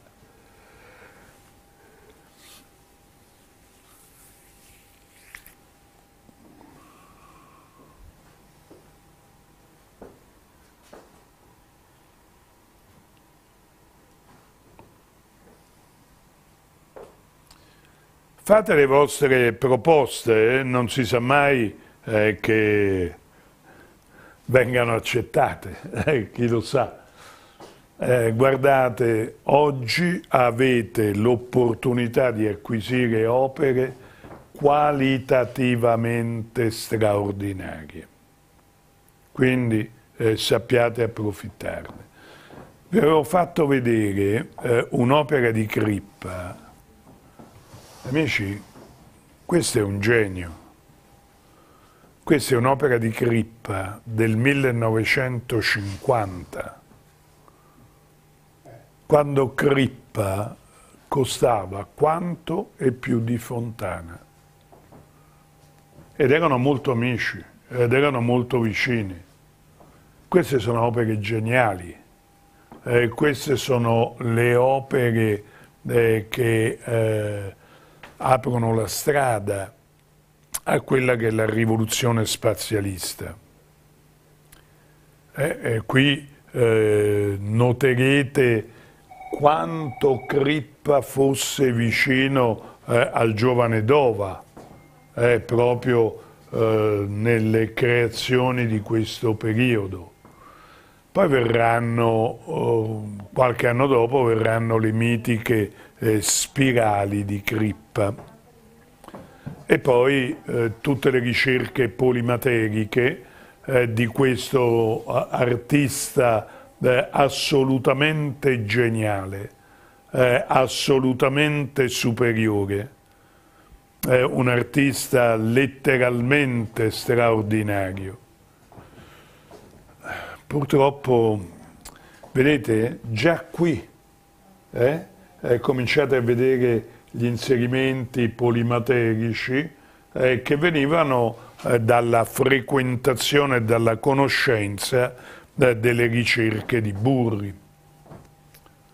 Un'opera di crippa di strepitosa qualità. Poi, eh, dopo la scomparsa tragica, il mitico incidente aereo, eh, sapete che Crippa aveva questa passione, no? proprio de, de, de, sì, del volo. E, e, Qua è morto presto. sì, eh, molto vicini, siamo molto vicini, eh, eh, eh, sì, eh, siamo molto vicini a Bresso e purtroppo l'incidente si verificò proprio nell'aeroporto di Bresso. E Crippa, vabbè, No, che poi se ti parte il filone, se ti parte il filone non si ferma più. voi vi fate incantare dagli pseudo Crippa, che li vogliamo chiamare d'atelier, chiamiamoli d'atelier. Tu li chiami Crippini. Io li chiamo i crippini, che naturalmente pagate relativamente, per me le pagate tantissimo, eh, perché per me valgono zero. Quindi anche quando lo pagate eh, 8.000, 9.000, 10.000 euro, sono 8.000, 9.000, 10.000 euro buttati, buttati, letteralmente buttati. Perché oggi eh, c'è il mercato di queste cose, ma tra dieci anni, tra vent'anni, Crippa costerà soldi veri, ma vorranno solo le opere matematicamente sue, rigorosamente autografe. E questo accade su Crippa, accade su Rotella, accade su Tanopesta, accade su Dorazio. Quello che io dico sulla qualità, sulla rappresentatività museale, eh, sull'importanza storica dell'opera, è fondamentale.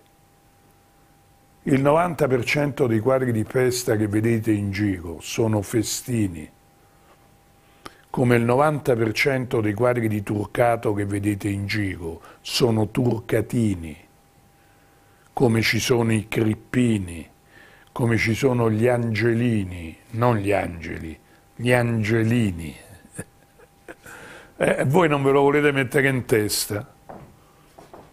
E per risparmiare 2, 3, 4 mila euro, credete di fare un acquisto intelligente e buttate via i vostri risparmi, perché domani accadrà quello che sta accadendo oggi su Rotella, quello che sta accadendo oggi su Boetti, eh? per cui l'archivio ti dirà eh, che quell'opera non ha le caratteristiche per essere immesso nell'archivio. Morale, quanto varrà quell'opera? Zero. Questo non ve lo volete mettere in testa. Comprare la qualità è l'unica garanzia vera, reale, al di là dei pezzi di carta che avete. Questo non ve lo volete mettere in testa.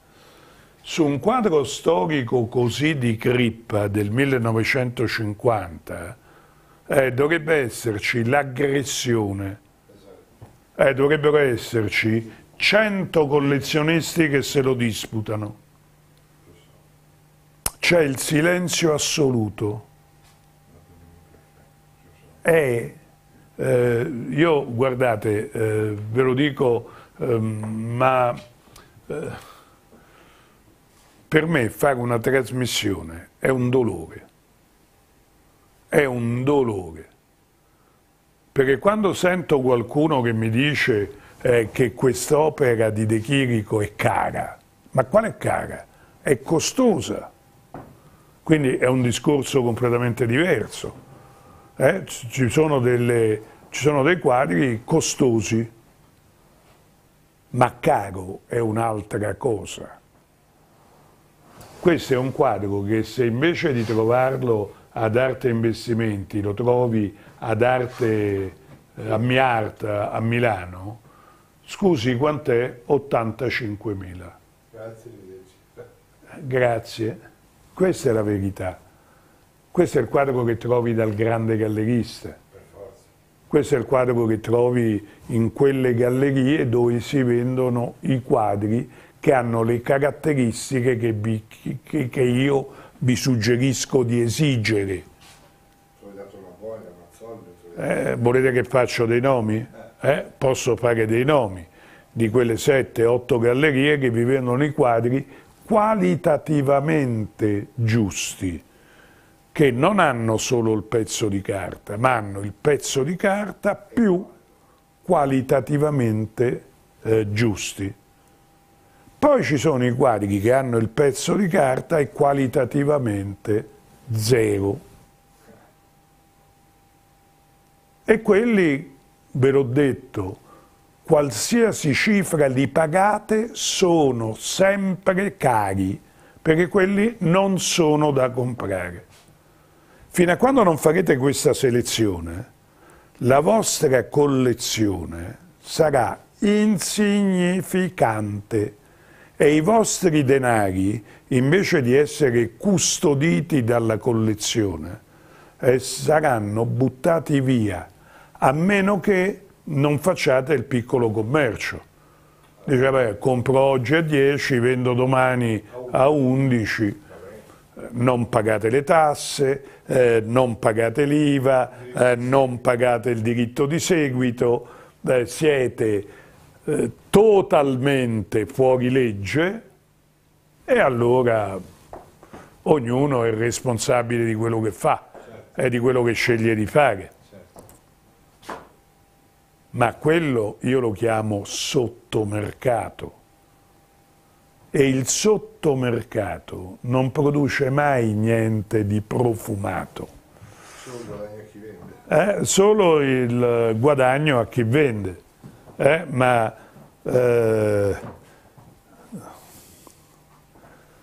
il sottomercato non vi dà nulla eh, di eh, giusto, di sano. Eh, guardate le opere vincenti. Eh, vi ho fatto vedere un crippa del 50 eh, da far tremare le vene dei polsi. Eh, letteralmente eh, da far tremare le vene nei polsi.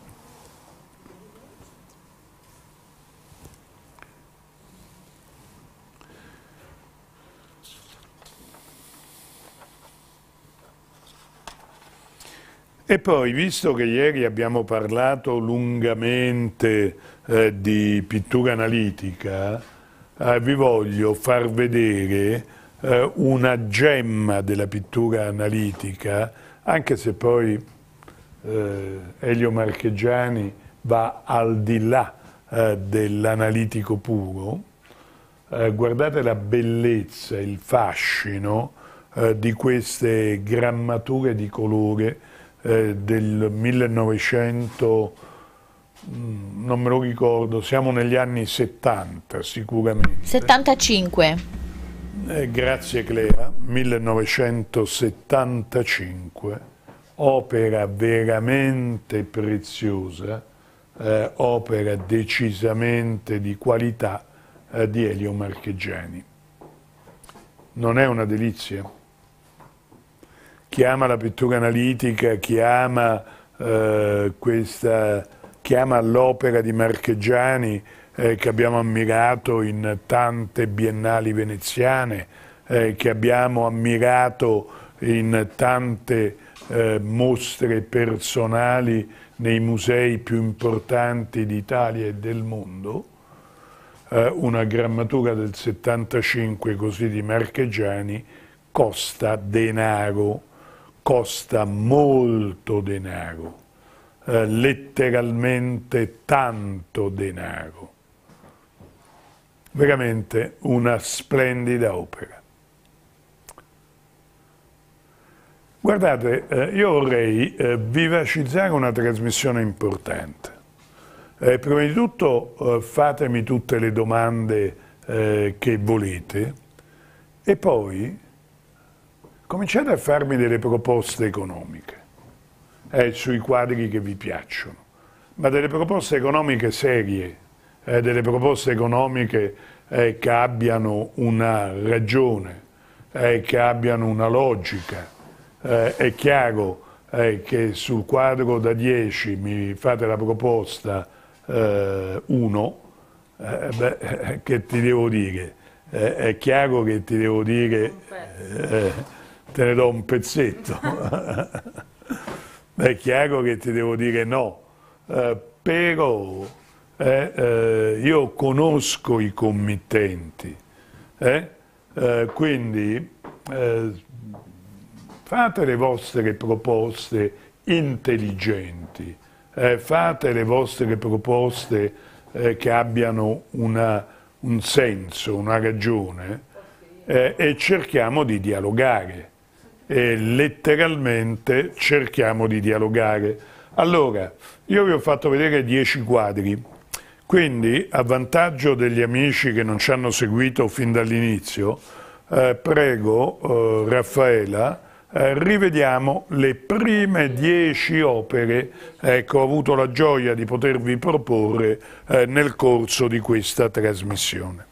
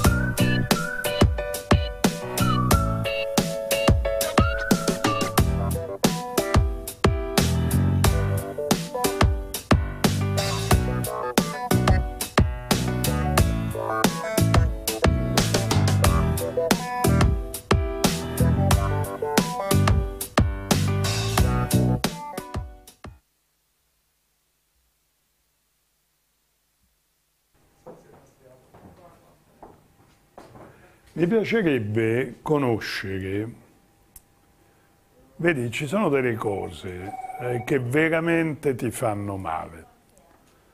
Un signore eh, sul De Chirico mi ha fatto una proposta che mi dice, dice ma tu è, è come se mi avesse dato del cretino, è come se mi avesse dato del fesso. Eh?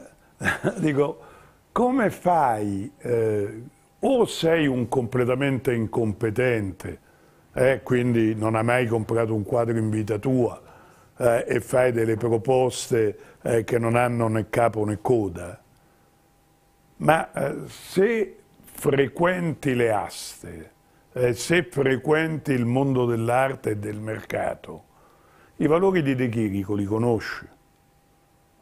E se qualcuno ti vende ciò che vale 100 a 10, sotto c'è qualcosa, poi non ti lamentare eh, che qualcuno ti ha imbrogliato, eh, che qualcuno ti ha venduto un falso, perché te lo sei cercato con un'offerta del genere. Cosa ti possono dare? Solamente un'opera fasulla. Eh, tu non è che puoi comprare eh, un biglietto vero di banca autentico da 500 euro a 50 euro. Quando qualcuno ti dà un biglietto di banca autentico da 500 euro, te lo dà a 50 euro, è matematicamente falso.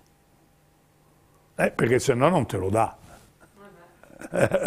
è ovvio, no? Quindi eh, fare delle proposte di questo tipo o sei proprio uno che, boh, eh, che, che non ha mai frequentato una galleria, eh, che non ha mai sentito un prezzo, ma mi offendo lo stesso, perché quando fai delle proposte di questo tipo mi dai del ladro.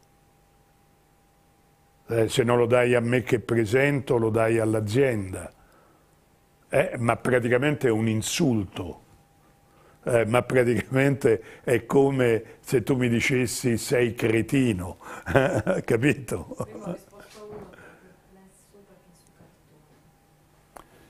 Che vuol dire? Eh, qualcuno dice, ah ma sai, eh, per me eh, quel quadro De Chirico l'ha dipinto per se stesso. E quando un maestro dipinge per se stesso, dipinge sulla superficie più consona per ottenere l'effetto migliore eh, sul desiderato. E quando eh, un'opera del genere la fai su cartone invece che su tela, perché De Chirico voleva l'opera liscia, non gli piaceva il...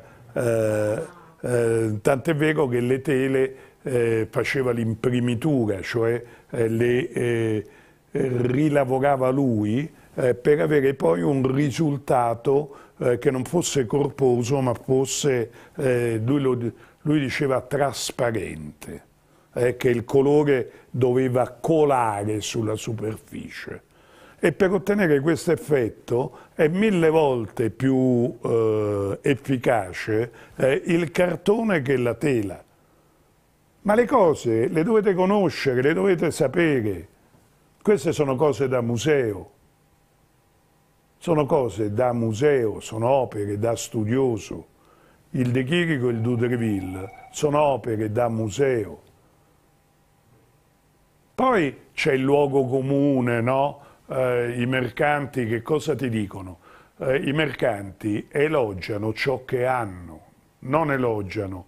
Eh, vai a visitare i musei e allora ti accorgi eh, di quelle che sono eh, le eh, scelte specifiche dell'artista. Ma quello che conta è il risultato finale.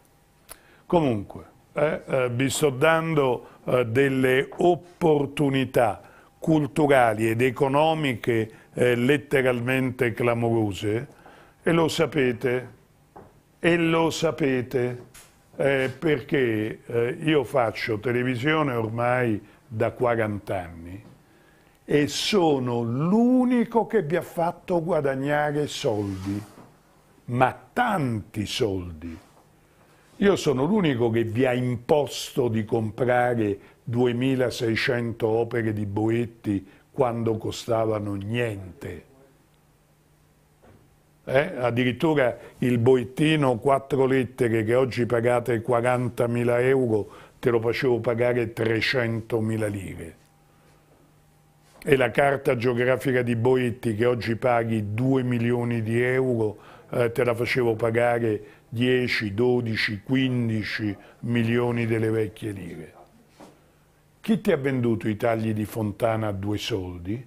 Chi ti ha venduto i Tombley a 5 milioni delle vecchie lire? Poi qualcuno mi dirà, Sì, è vero, eh, mi hai venduto queste opere, poi però eh, mi vendevi il Cassinari, mi vendevi il Morlotti, eh, mi vendevi il Fiume, eh, mi vendevi Cascella, certo, ma vi ho mai detto che comprando eh, il Morlotti, il Fiume, eh, compravate delle opere di ottimi artisti, ma le pagavate il prezzo pieno. Non vi ho mai detto che avreste fatto un investimento clamoroso su quell'opera. Quando ti presentavo eh, l'Isgro, quando ti presentavo il Boetti, eh, quando ti presentavo il Bonalumi, ti dicevo su queste opere straguadagnerai. Ma non perché io sia un profeta e, e sappia leggere il futuro, perché sono nato in questo campo e mi accorgo immediatamente di quali sono le operazioni finanziarie in atto eh, per portare un certo pittore, un certo artista, un certo gruppo di artisti alla visibilità sul mercato internazionale. E quando un artista, un gruppo di artisti diventa visibile eh, sul mercato internazionale, allora nascono i grandi prezzi.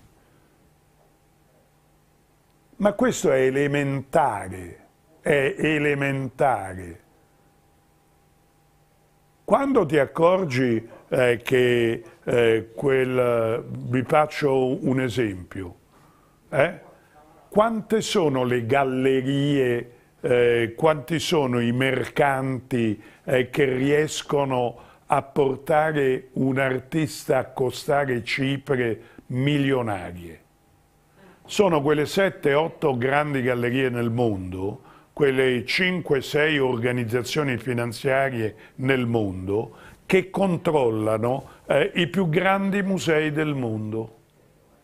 E quando Opera Gallery eh, tira fuori il Novecento italiano e quando Opera Gallery eh, sceglie tra gli artisti italiani lo giudice e quando Opera Gallery sceglie tra gli artisti italiani Algardi, è chiaro che eh, li porta poi ai livelli internazionali.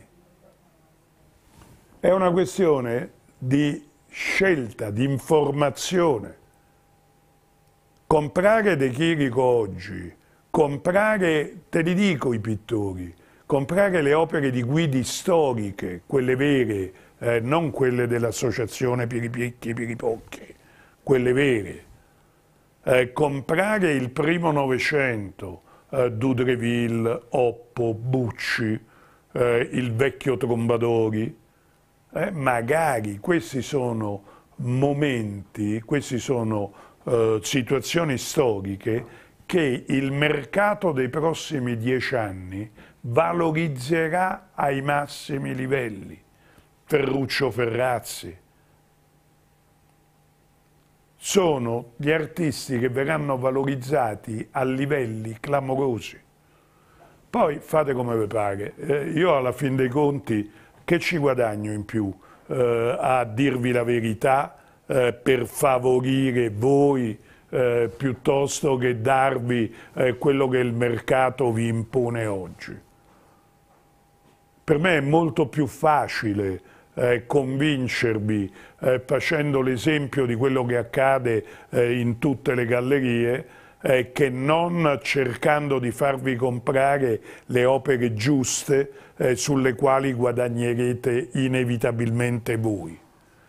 Io cerco di spiegarvi il sistema perché voi impariate ad approfittare ad, del sistema, ad usare il sistema a vostro vantaggio. Se a voi piace continuare ad essere schiavi del sistema e continuare con il vostro denaro, con la vostra passione, eh, con il vostro sacrificio ad arricchire il sistema, fate pure. Però a quello che sul De Chirico mi offre eh, un decimo di quello che vale, eh, gli dico stai zitto perché mi offendi. Chiaro? e mi piacerebbe tanto che mi telefonassi personalmente per chiedermi scusa, perché tu sei offensivo. eh dai, eh, scusa, quando ce l'ho ce l'ho. Eh. quando ce l'ho ce l'ho. Va bene che il cliente ha sempre ragione, eh, va bene che bisogna essere cortesi, eh, va bene che non bisogna mai trascendere, eh, però, però, eh, allora, è come quello no, che, eh, ma eh, non voglio parlare di certe cose.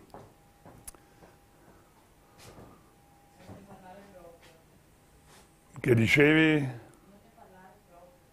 È vero.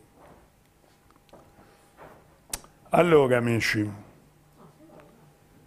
vi ho fatto vedere delle opere particolari, eh, ma c'è quel gioiellino di tamburi, eh, quella veduta di Parigi, non è piacevolissima, eh, non è di grande gusto eh, non è di grande qualità.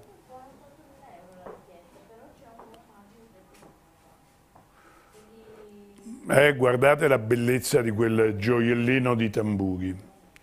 Poi mi piace il sughi. Eh, rivediamo tutto, rivediamo tutto, eh, rivediamo tutto eh, perché ci tengo eh, che gli amici si rendano conto eh, della qualità e dell'importanza delle opere che ho la gioia di farvi vedere oggi. C'è quel tamburi che è una gemma, c'è quell'opera di Sughi, quella bambina eh, di spalle che è una cosa di una raffinatezza e di una qualità eccezionale. C'è quella tecnica mista di Campigli eh, che è un amore. Oltretutto eh, quell'opera di Campigli è addirittura del 1940. E poi guardate la bellezza eh, di quella natura morta di De Pisis. E poi guardate la bellezza straordinaria eh, di quella eh, superba eh, natura morta di Filippo De Pisis. Poetico e raffinato, è l'Armando Spadini, dipinto nel primo decennio del XX secolo, quindi siamo prima del 1910, opera deliziosa, raffinatissima eh, di Armando Spadini, bella come il più bel Renoir, veramente eh, di una bellezza eh, di una raffinatezza straordinaria. E poi eh, quella gemma ironica, eh, quel eh, bozzetto per una scenografia, quella seppia preziosa eh, di eh, Gregorio Sciltian.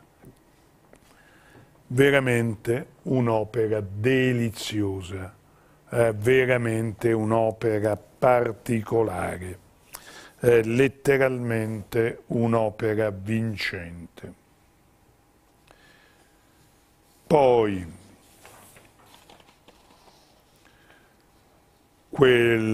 l'Apollo eh, di Giorgio De Chirico, eh, pubblicato eh, con gli scritti di Maurizio Fagiolo dell'Arco, eh, quindi eh, quell'opera che rievoca quell'Apollo del Belvedere che viene chiamato le Champs d'Amour, che lui, che De Chirico dipinse a Parigi nel 14. Eh, questo è l'Apollo che De Chirico ehm, dipinge per se stesso, per se stesso ispirandosi eh, a, ad un'opera di Stravinsky e riprendendo il tema eh, delle Champs d'Amour che lui aveva dipinto a Parigi nel 1914.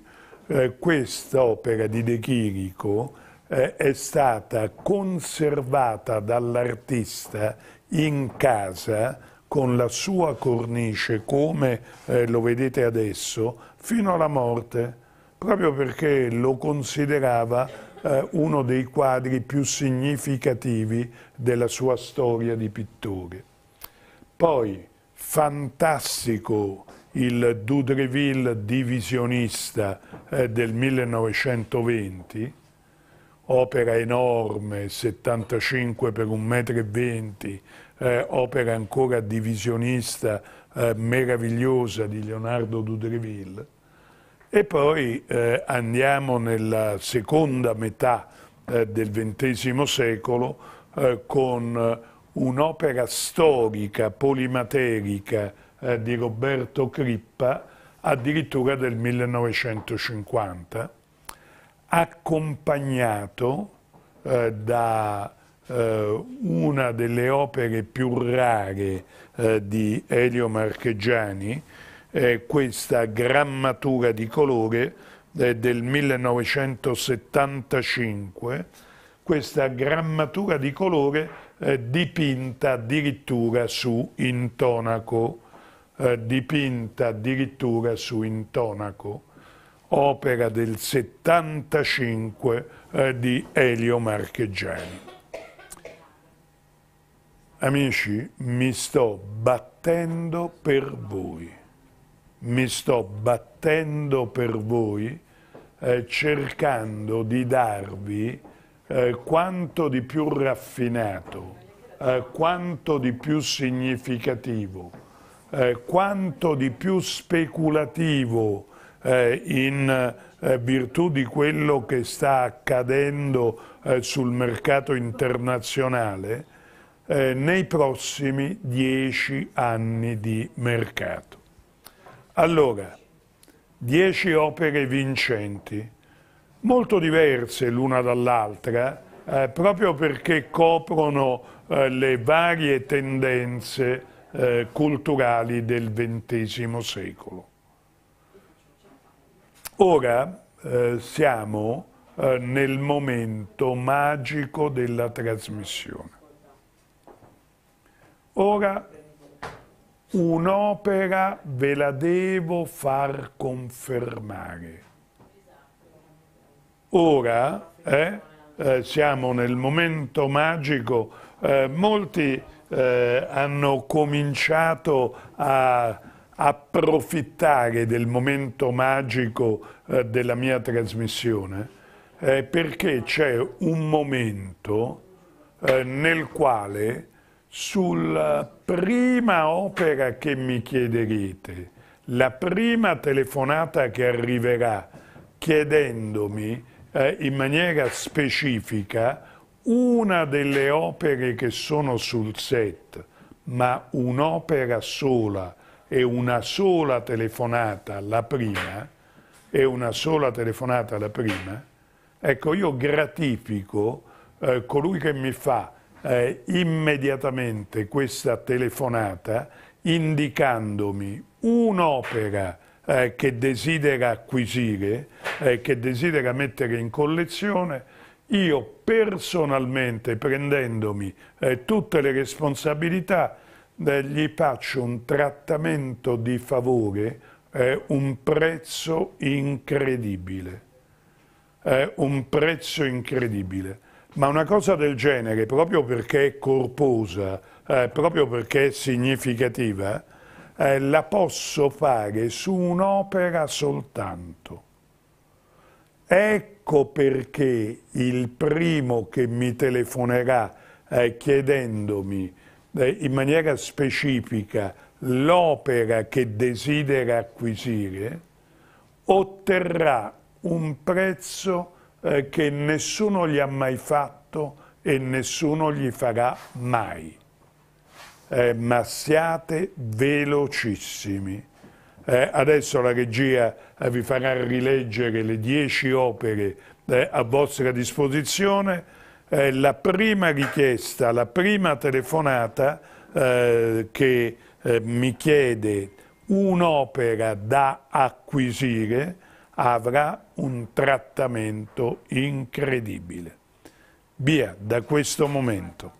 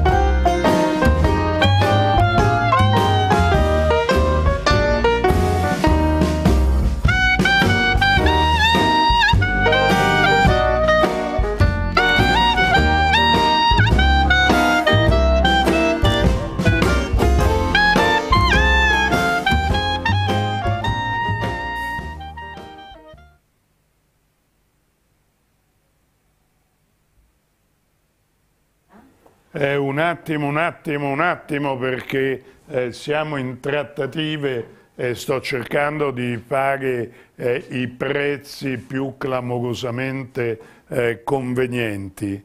Eh, eh, mi inquadri il De Chirico un momento? mi inquadri il De Chirico un momento?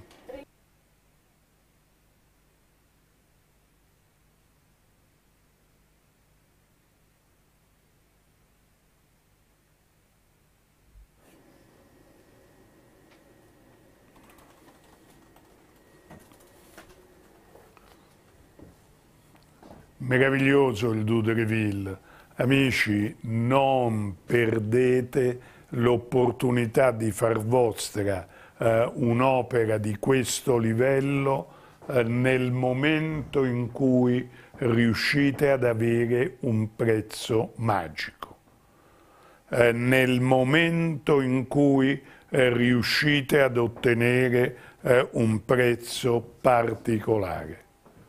Io mi raccomando a voi, eh, io mi raccomando a voi, voi sapete quello che vale, provate, eh, Elio Marchegiani vi riceve, eh?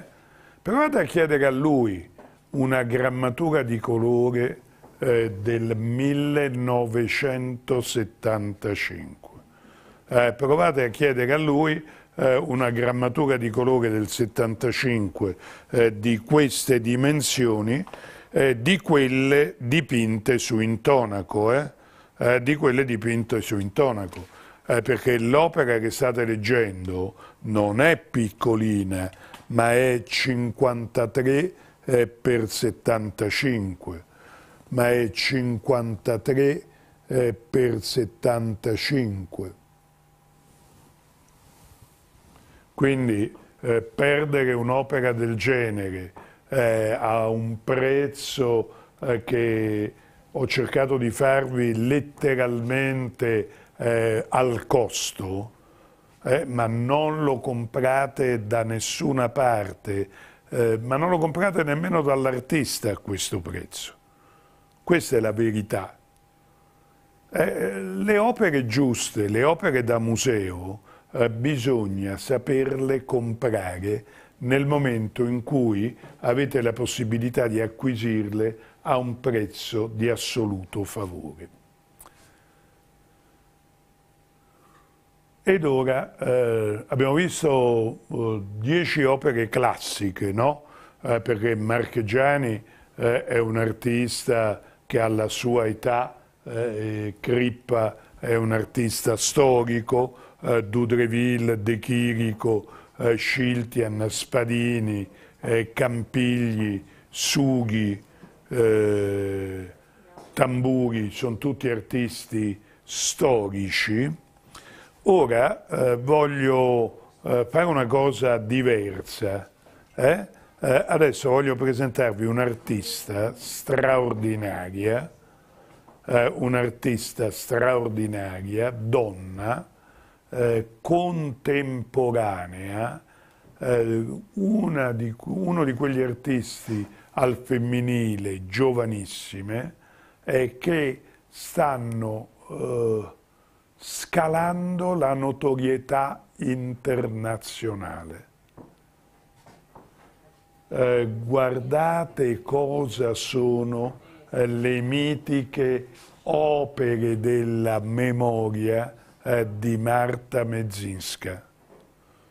Lei, eh, e voi dal nome ve ne rendete conto, è un nome polacco, eh, lei eh, ha uno studio a Varsavia e uno studio a Milano e sta, ha aperto da poco eh, uno studio a Londra eh, che sta avendo un successo clamoroso.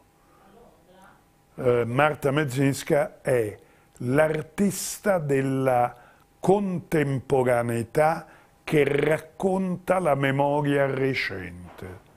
Eh? Eh, qui vedete eh, queste facciate di palazzi eh, con eh, i graffiti eh, alla catering praticamente, così come vedete i mitici negozi di nicchia specialistici eh, che eh, un tempo erano comuni nelle nostre città e che stanno diventando sempre più rari e che stanno scomparendo eh, proprio in funzione eh, delle multinazionali, de- delle imprese eh, ehm, enormi. Eh, quindi letteralmente un artista che fissa eh, dei particolari eh, del vissuto della città eh, che inevitabilmente diventano memoria.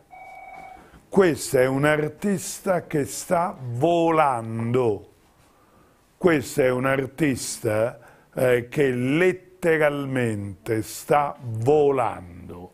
Eh, guardate tutti i critici internazionali, tutti i grandi musei oggi vogliono una mostra eh, di Marta Metz, come si fa chiamare lei, eh, per semplificare eh, il nome. Eh, a me piace chiamarla eh, con il nome intero, la Mezzinska, ma eh, ho tre gioielli, ho tre opere assolutamente superiori, tre opere eh, veramente di grande qualità. Vedete, questi eh, sono gli artisti eh, potete, dei quali potete acquisire delle opere eh, di grande livello. Eh, questo Monster è un 80 per 80 d'olio su tela. Eh, questo gioiellino al numero 12 è un 50 per 50 ad olio su tela. La Charlotte de Lisle è una delizia 30 per 30 eh, sempre ad olio su tela. Quindi tre gemme di un artista eh, emergente ai massimi livelli, eh, di grande bellezza, di grande qualità, eh, che avete la gioia di poter acquisire a un prezzo irrisorio, eh, che avete la gioia di poter mettere in casa a un prezzo irrilevante. Questi sono i momenti magici eh, delle nostre trasmissioni.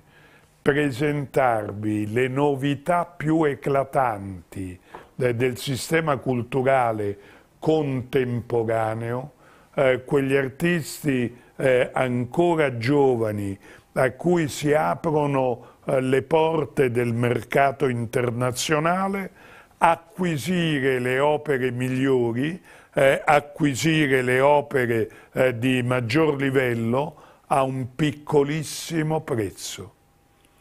queste sono le opere eh, che quelli della mia età eh, devono comprare per i figli e che i più giovani devono comprare per la famiglia.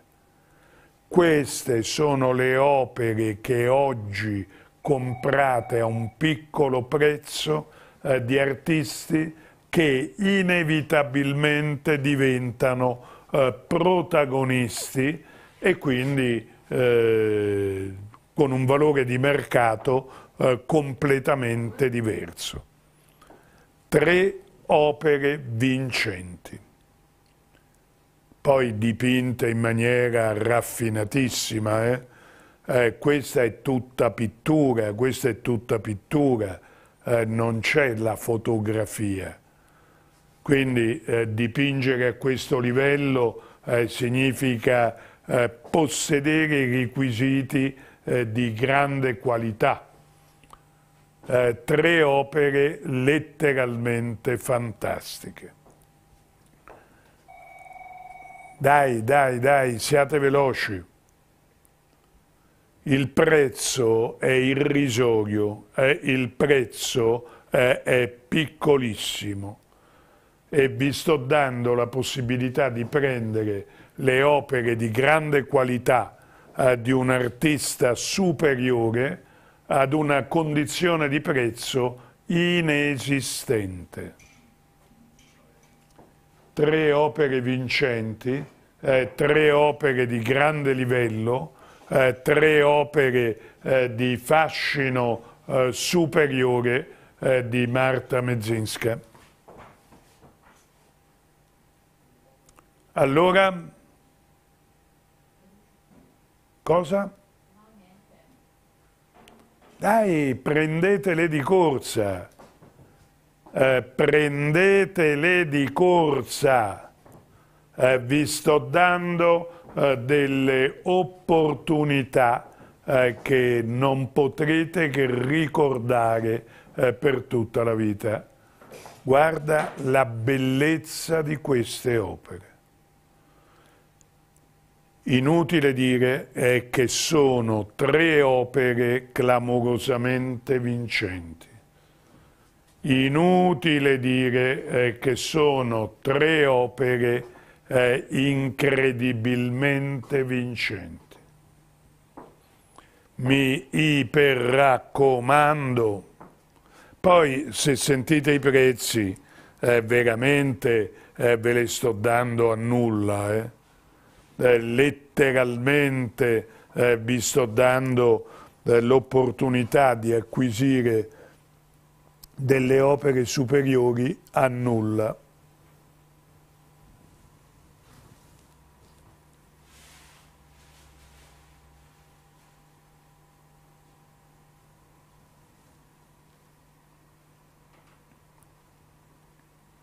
No, no, no, no, è pittura pura eh, guarda eh, i riflessi delle macchine della vetrina, eh, i riflessi della facciata nella vetrina. Eh, qui eh, bisogna saper dipingere eh, a livello qualitativo clamoroso, addirittura superiore, letteralmente superiore.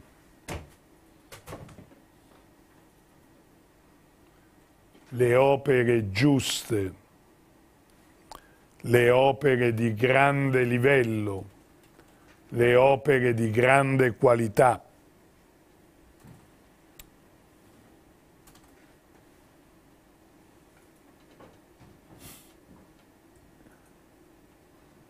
E oltretutto i prezzi, eh, poi eh, avete la possibilità di rateizzare la cifra, eh, quindi i prezzi eh, sono eh, letteralmente inesistenti, eh, sono letteralmente eh, inesistenti. Eh, tre gioielli di Marta Mezzinska a un prezzo eh, totalmente inesistente. Amici, io sono dalla parte vostra. Eh, ci abbiamo eh, alla fine di una trasmissione eh, che, ve lo dico, resta nella storia per i contenuti. Eh, le opere che vi ho fatto vedere oggi eh, non potrete che rimpiangerle, eh, non potrete che rimpiangerle, ma tutte, eh, dalla più costosa a quella che vi sto dando, questa Charlotte dell'Isle, sai a che prezzo te la faccio comprare? Eh, sai a che prezzo eh, te la faccio acquisire? A 1200 euro. A 1200 euro. Eh, vi do le opere di Marta Mezzinska a nulla eh, e ve le pagate come volete, eh, quando volete. Eh, ma c'è il Marchegiani su Intonaco del 75, eh, ma c'è il Crippa del 50, eh, ma c'è il Dudreville, il De Chirico, eh, lo Schiltian, eh, il De Pisis, quel gioiellino di tamburi. Dai amici, eh, ci avviamo verso la fine della trasmissione e eh, i prezzi che vi sto facendo sono irripetibili, sono irripetibili. Poi voi mi direte, ah, se avessi preso quell'opera. Sono tutte opere che non potremo che rimpiangere, eh, proprio sul piano della qualità, eh, proprio sul piano del prezzo sono tutte opere che non potremmo che dire eh, avrei dovuto comprarle tutte, avrei dovuto costruire una collezione eh, su quelle opere. Dai, dai, dai, dai, eh, avete eh, delle eh, opportunità eh, letteralmente epocali. Avete eh, e poi io lo so, eh, i prezzi che vi posso fare io adesso non ve li farà mai nessuno. Quindi eh, è questo il momento eh, di approfittare eh, dell'opportunità storica eh, che vi sto dando.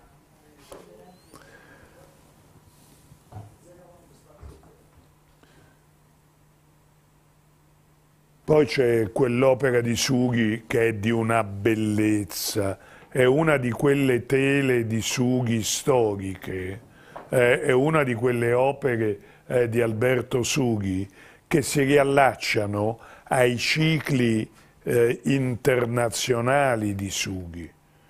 Io ricorderò sempre, io ho, ho adorato l'opera di Sughi eh, fino a quando eh, non è caduto nelle grinfie eh, di uno dei mercanti più commerciali e più... Eh, ma dai, eh, non diciamo di più, chiamiamolo commerciale e basta, che lo ha costretto a abbandonare i grandi cicli a cui Sughi ci aveva abituato, la storia di un prete, eh, la cena della borghesia, i cicli baconiani eh, come eh, quello a cui appartiene eh, quest'olio straordinario, eh, per accedere eh, a mh, mm, una maniera di dipingere sempre di altissimo livello perché Sughi è stato uno dei pittori di figurazione italiani più bravi eh, del dopoguerra, ma più decorativi, ma più decorativi. E, e questo eh, è stato deleterio eh, perché Sughi, eh, quando è così, quando è del ciclo della storia di un prete, quando è del ciclo della cena della borghesia, non ha niente da invidiare ai più grandi pittori di figurazione europei ed inglesi. Questo è un quadro da fantascienza che hai la gioia di acquisire a un prezzo inesistente. Eh, approfittane, eh, approfittane. Eh, un olio su tela eh, di una bellezza inaudita eh, di Alberto Sughi, eh, che mh, oltretutto ve lo stanno dando ad un prezzo eh, che non ha nessuna ragione di essere. Eh, guarda, per la datazione del dipinto eh, siamo proprio nei primissimi anni 70, può essere 72-73. Quadro superbo.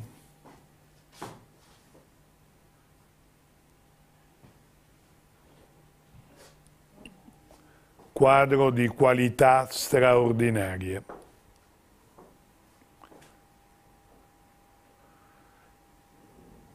La trasmissione eh, sta avvolgendo verso la fine, è il momento di approfittare eh, delle eh, opportunità che vi sto dando.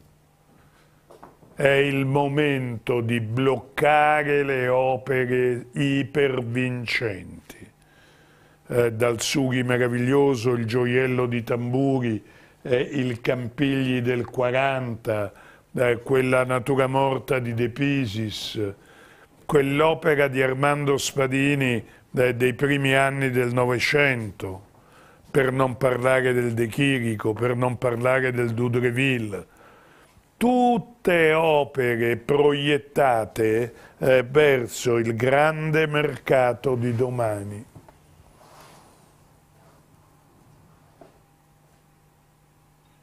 Tutte opere proiettate eh, sono eh, le opere sulle quali investire oggi il denaro.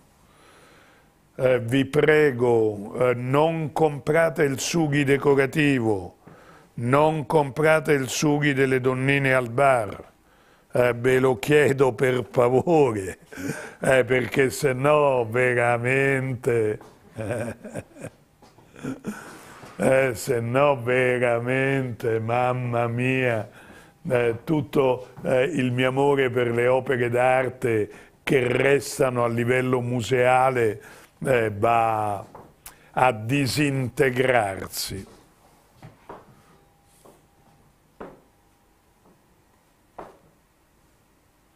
Sughi, se non è tragico, se non è beconiano, eh, se non è di denuncia, eh, di denuncia di comportamenti sociali, eh, non è Sughi giusto, eh, non è il Sughi eh, che interessa eh, la, la figurazione internazionale. Comunque, ciascuno ha diritto alle sue scelte.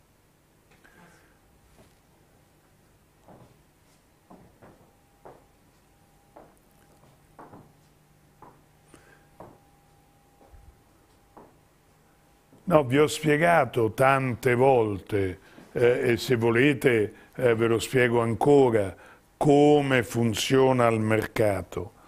Ed ecco perché eh, mi permetto di consigliarvi eh, ed ecco perché eh, mi permetto eh, di mettervi nella condizione eh, di investire in maniera proficua eh, il vostro denaro.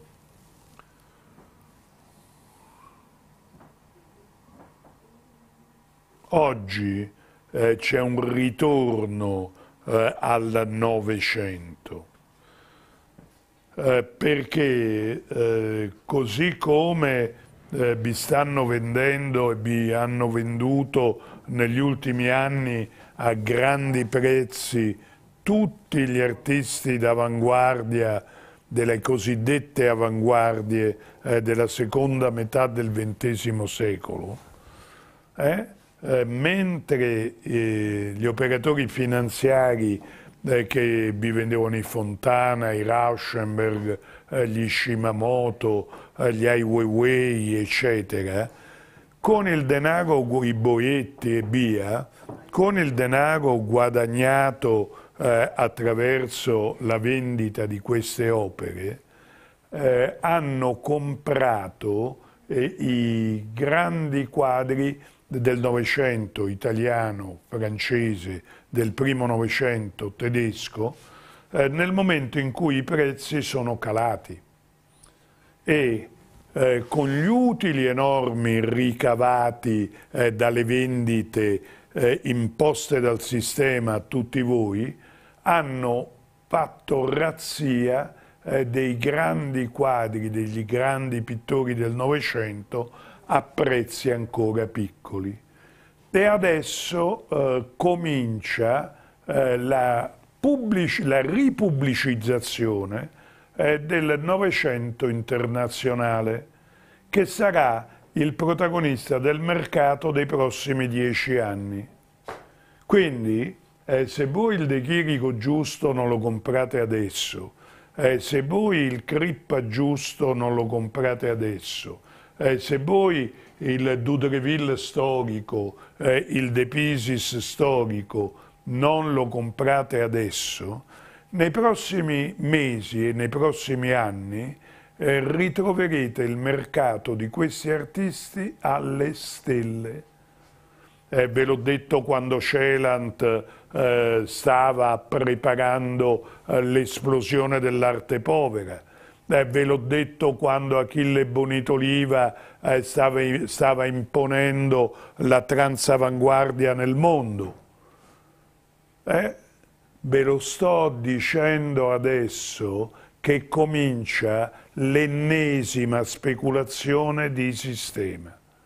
Eh, le opere che vi sto facendo vedere oggi ve le ricorderete per tutta la vita per il valore storico e per i prezzi clamorosi eh, a cui ve le sto proponendo. E voi state dolorosamente esitando. E voi state dolorosamente esitando eh, quando su queste opere eh, non dovreste avere eh, la minima eh, esitazione.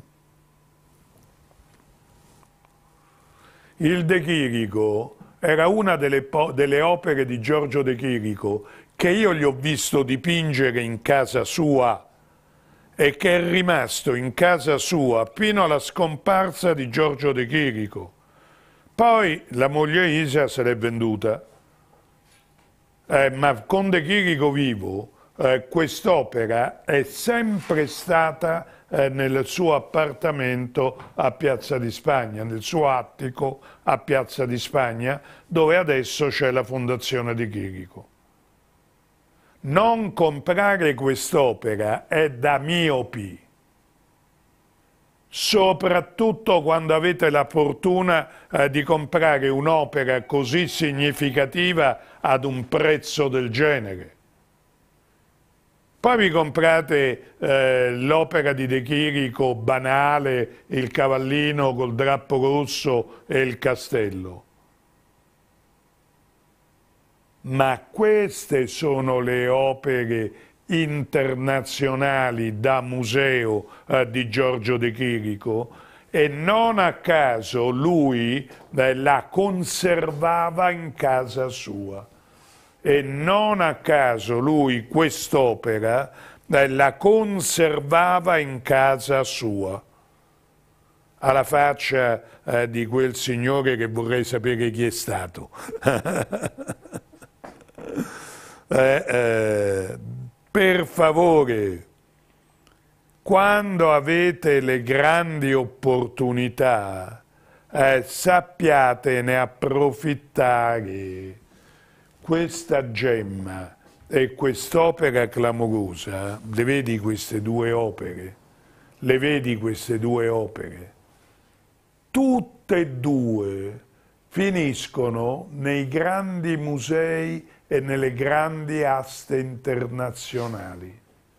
A dispetto della dimensione contenuta, questa è un'opera di grande importanza di Giorgio De Chirico eh, perché eh, ne rispecchia i valori classici, i valori della grecità, riprende eh, un'opera famosissima eh, che De Chirico dipinse nel 1914 eh, a Parigi, eh, che si chiamava eh, Le Chant d'amour, che si chiama eh, Le Chant d'amour.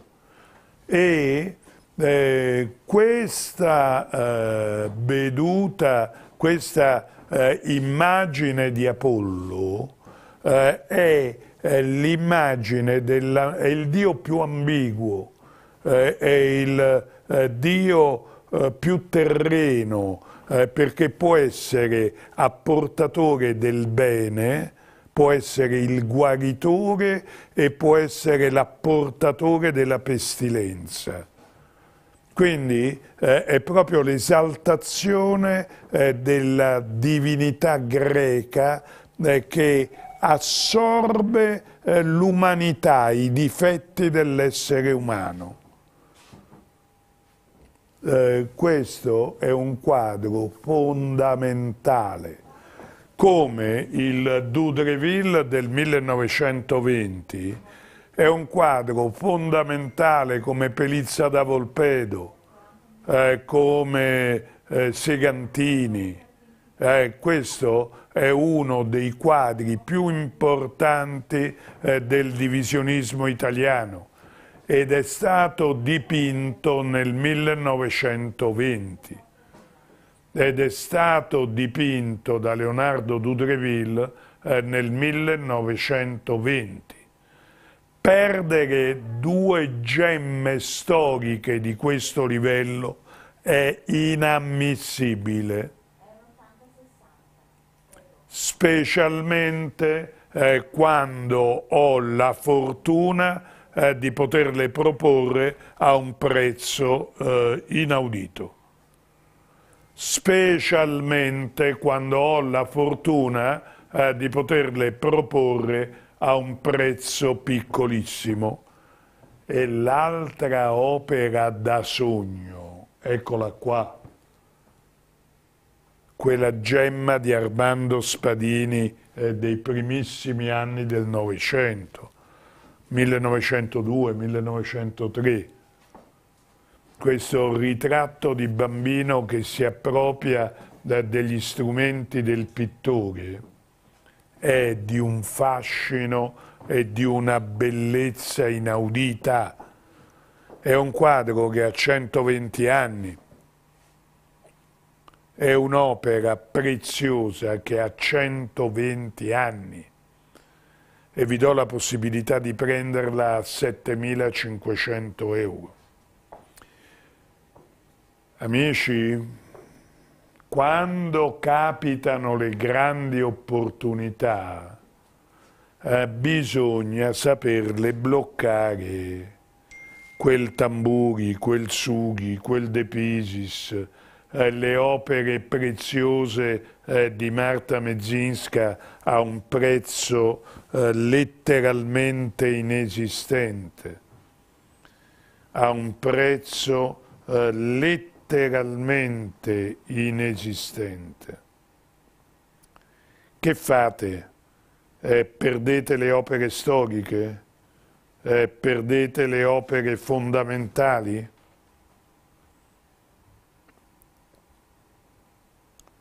perdete le opere di livello assoluto eh, quando avete la possibilità eh, di acquisirle eh, ad un prezzo che non vi è mai capitato di poterle acquisire?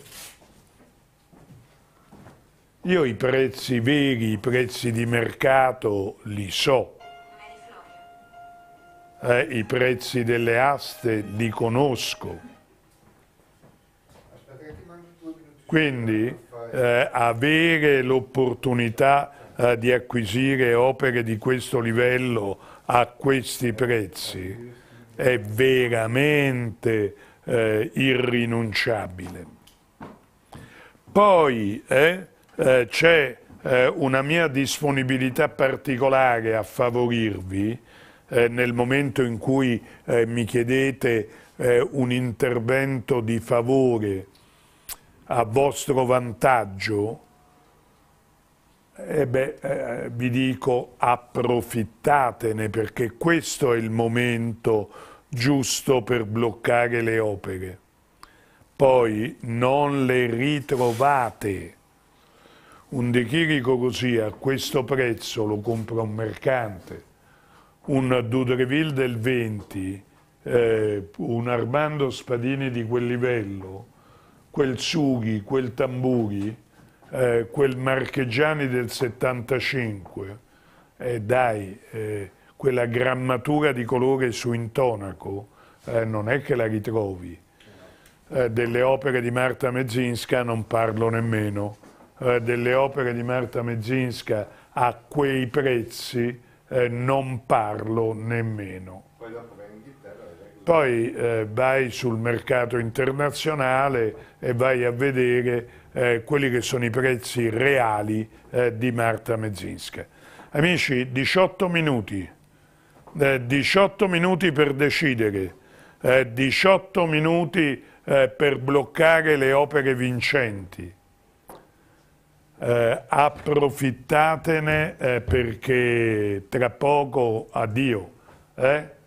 Eh? Approfittatene eh, perché è il momento eh, di bloccare le opere vincenti. Poi eh, approfittate del fatto che in questo momento io sono totalmente dalla vostra parte. Poi approfittate del fatto eh, che in questo momento eh, faccio di tutto per eh, accontentarvi.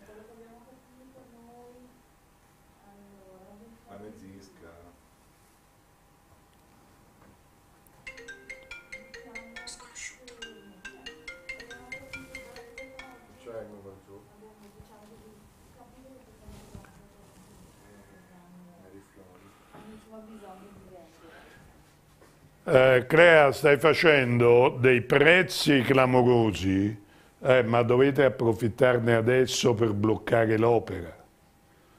Poi il pagamento eh, vi mettete d'accordo con la sede commerciale, eh, ma dovete bloccare l'opera adesso.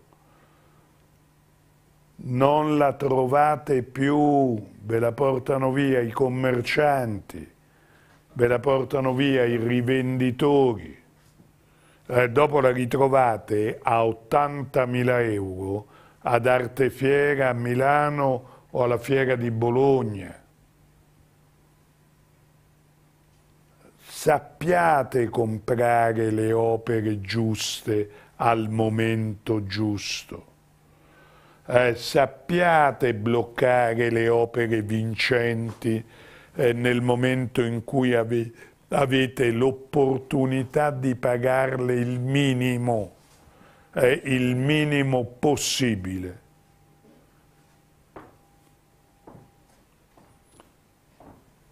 Eh, Oggi le opere banali di De Chirico eh, le pagate 70.000, 80.000, 90.000. Il cavallino banale non l'opera che De Chirico ha voluto eh, ricostruire eh, dalla memoria dell'opera del 1914 e che ha voluto custodire per tutta la sua vita in casa sua. Quindi l'opera da grande museo. Ma quello che vi sto dicendo l'ha scritto Maurizio Pagiolo dell'Arco nella sua autentica perché Maurizio Fagiolo con me, con, insieme, eh, abbiamo visto quest'opera in casa di Chirico, non una, ma decine di volte, sempre. Eh, ogni volta che siamo stati ricevuti in casa di Chirico abbiamo visto quest'opera. E quando un artista tiene gelosamente un'opera del genere, vuol dire che ha un significato particolare nella sua memoria e nel significato dell'opera. Dai, per favore, siete fortunati e state prendendo a calci la fortuna. Esatto. Siete iperfortunati, praticamente è come uno che si schiaffeggia da solo. Eh, È come uno che eh, proprio sbatte la testa contro il muro da solo, eh, per sua scelta. Non commettete eh, un errore macroscopico eh, nel eh, non bloccare un'opera di questo livello di Giorgio De Chirico. Mi ringrazierete tutta la vita. Questa non è che aumenta 1000 euro alla volta, questa Questa eh, oggi vale il doppio. Oggi vale il doppio. E ve lo dico, finisce in un museo, finisce in una collezione pubblica. Dammi retta, quando ti capita il gioiello, quando ti capita eh, l'opera particolare, che ha una storia particolare, prima di rivederla passano decenni. non è eh, un'opera eh, normale, eh, non è un'opera banale, eh, non è un'opera da commercio, è un'opera da grande collezione. Eh, precipitatevi eh, perché è un momento fantastico. E quello che vi sto dicendo sul De Chirico lo ripeto con accenti diversi eh, sull'opera di Dudreville. Naturalmente parliamo di un altro momento storico, eh, parliamo di un altro artista, ma è un'altra opera pazzesca, irrinunciabile, eh, di valenza museale. Opera letteralmente da sogno. Dieci minuti alla fine, eh? Eh, ma dieci minuti eh, che non dimenticherete mai, Eh, ma dieci minuti eh, che non potrete dimenticare mai.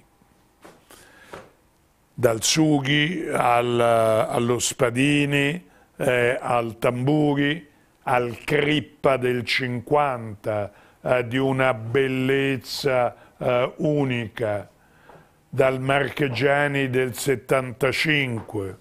Quindi tutta una serie di opere eh, veramente particolari. Tutta una serie di opere eh, letteralmente da grande collezione e che vi state lasciando sfuggire, eh, ve lo devo dire, non c'è una giustificazione. Che poi ci siete, eh, perché lo vedo, che poi ci siete. Quindi, sai, dice la trasmissione eh, non c'è pubblico, va bene, non mi vedono, va bene, ma io lo vedo che ci siete. E leggo eh, tutta una serie di indecisioni non ingiustificate, assurde, assurde, perché queste non sono opere che capitano con continuità, Non sono quelle commerciali. eh, non sono le opere commerciali, eh, non sono le opere eh, che vedete da me e, e vedete da altre emittenti. Eh? Sono opere di qualità e di storia superiore. Crippa così, eh, del 50, ne avrò visti 10 nella mia vita. Eh, Carmelo 2. Eh, eh, crippa così del 50. Poi già quando cominciamo con le spirali del 54-55 già eh, se ne vedono di più. Ma così no. Ma così l'ho visto solo alla Galleria Nazionale d'Arte Moderna di Roma, quella vera, quella storica. Eh, questo è il massimo di Crippa, Eh, un'opera eh, che De Chirico ha custodito per tutta la vita. Eh? L'ha voluta, l'ha fatta, l'ha custodita, l'ha tenuta lui, eh, per, l'ambiguità del soggetto, eh, per il richiamo al 1914, eh, per il richiamo all'infanzia in Grecia. Collezione privata? Collezione privata Giorgio De Chirico, ma per iscritto. Ma dove la troverete mai? Ma dove la troverete mai? Eh, vedete dove veramente eh, uno perde la tremebonda? Eh, dice, oi, ma quando mai ti capiterà un'opportunità del genere? Pensa fosse collezione privata di, chi, eh, di, di- di Picasso. Eh, tu pensa, eh, quadro collezione pri- privata Picasso, eh, opera collezione privata Duchamp, eh, opera collezione privata Rauschenberg. Eh? Ma quando mai sul mercato eh, ti capiterà un'opportunità del genere? Quando mai? Quando mai?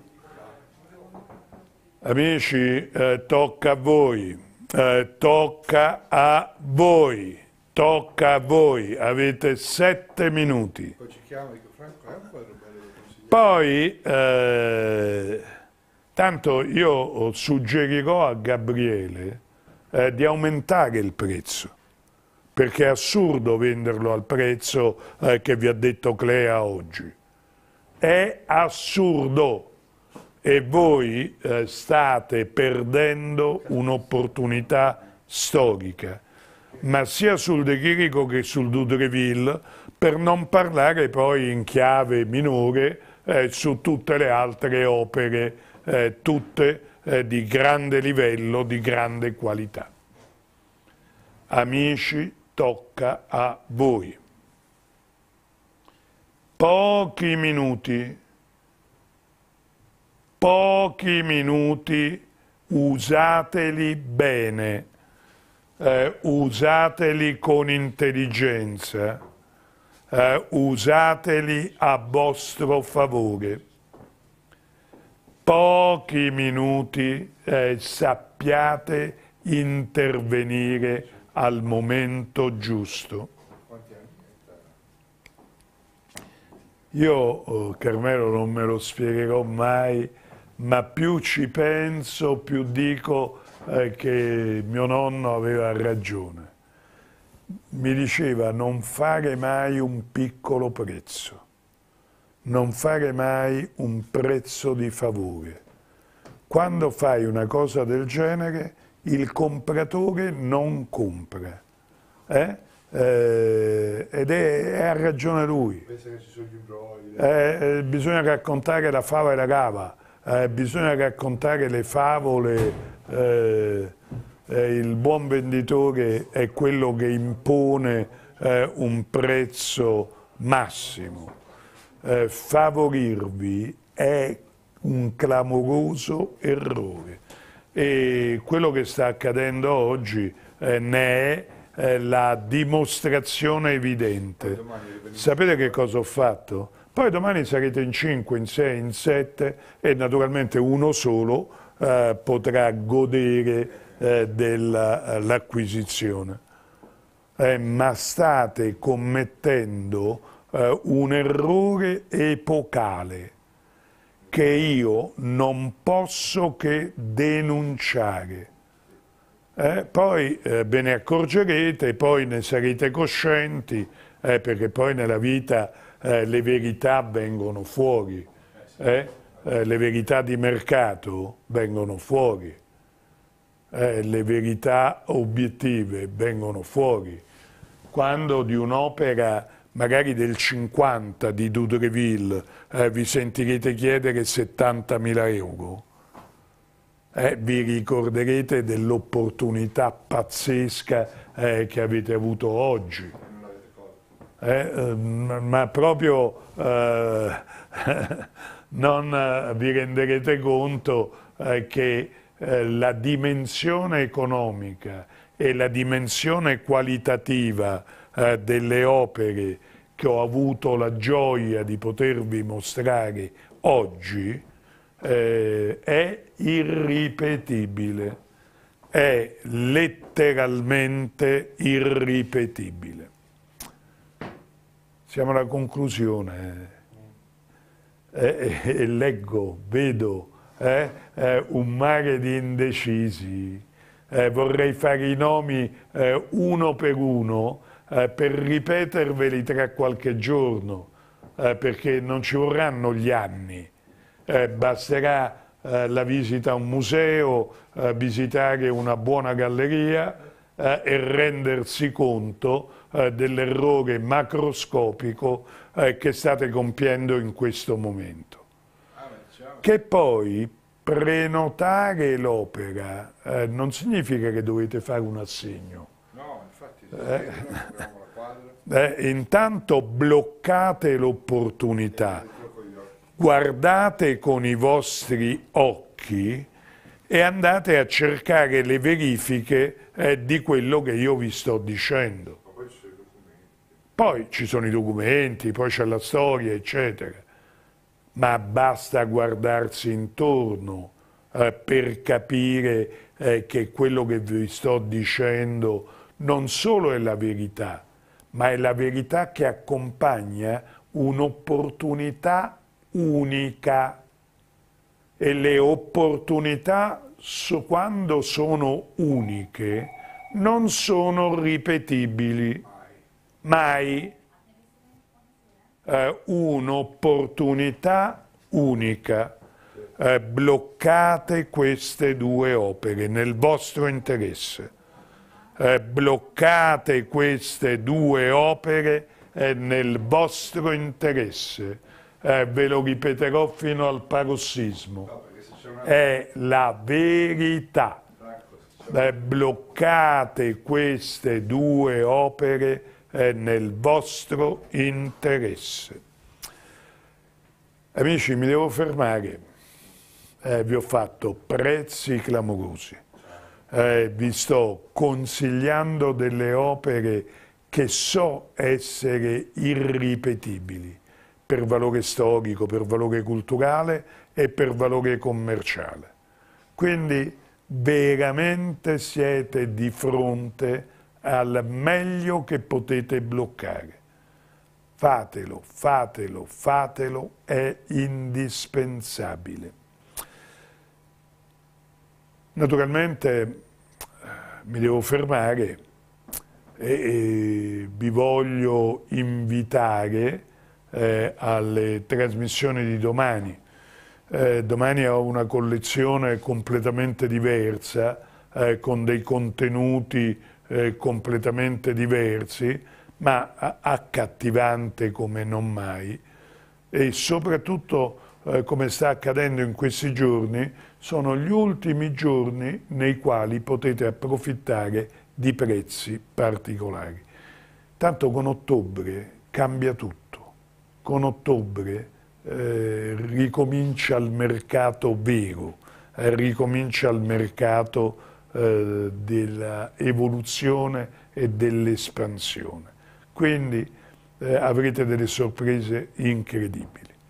Eh, mi fermo qui, eh, permettetemi di ringraziare eh, Clea, Raffaela, Carmelo, eh, Francesco, tutti coloro che hanno collaborato a questa trasmissione.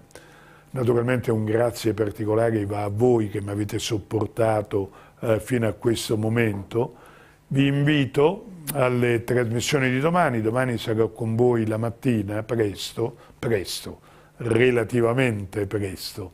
Eh, L'appuntamento è per domani mattina alle 10, eh, non mancate perché sarà una trasmissione importante, approfittate eh, dei pochi minuti nei quali Clea sarà ancora a vostra disposizione eh, per bloccare le opere alle mie spalle, con tutto il cuore, alla prossima.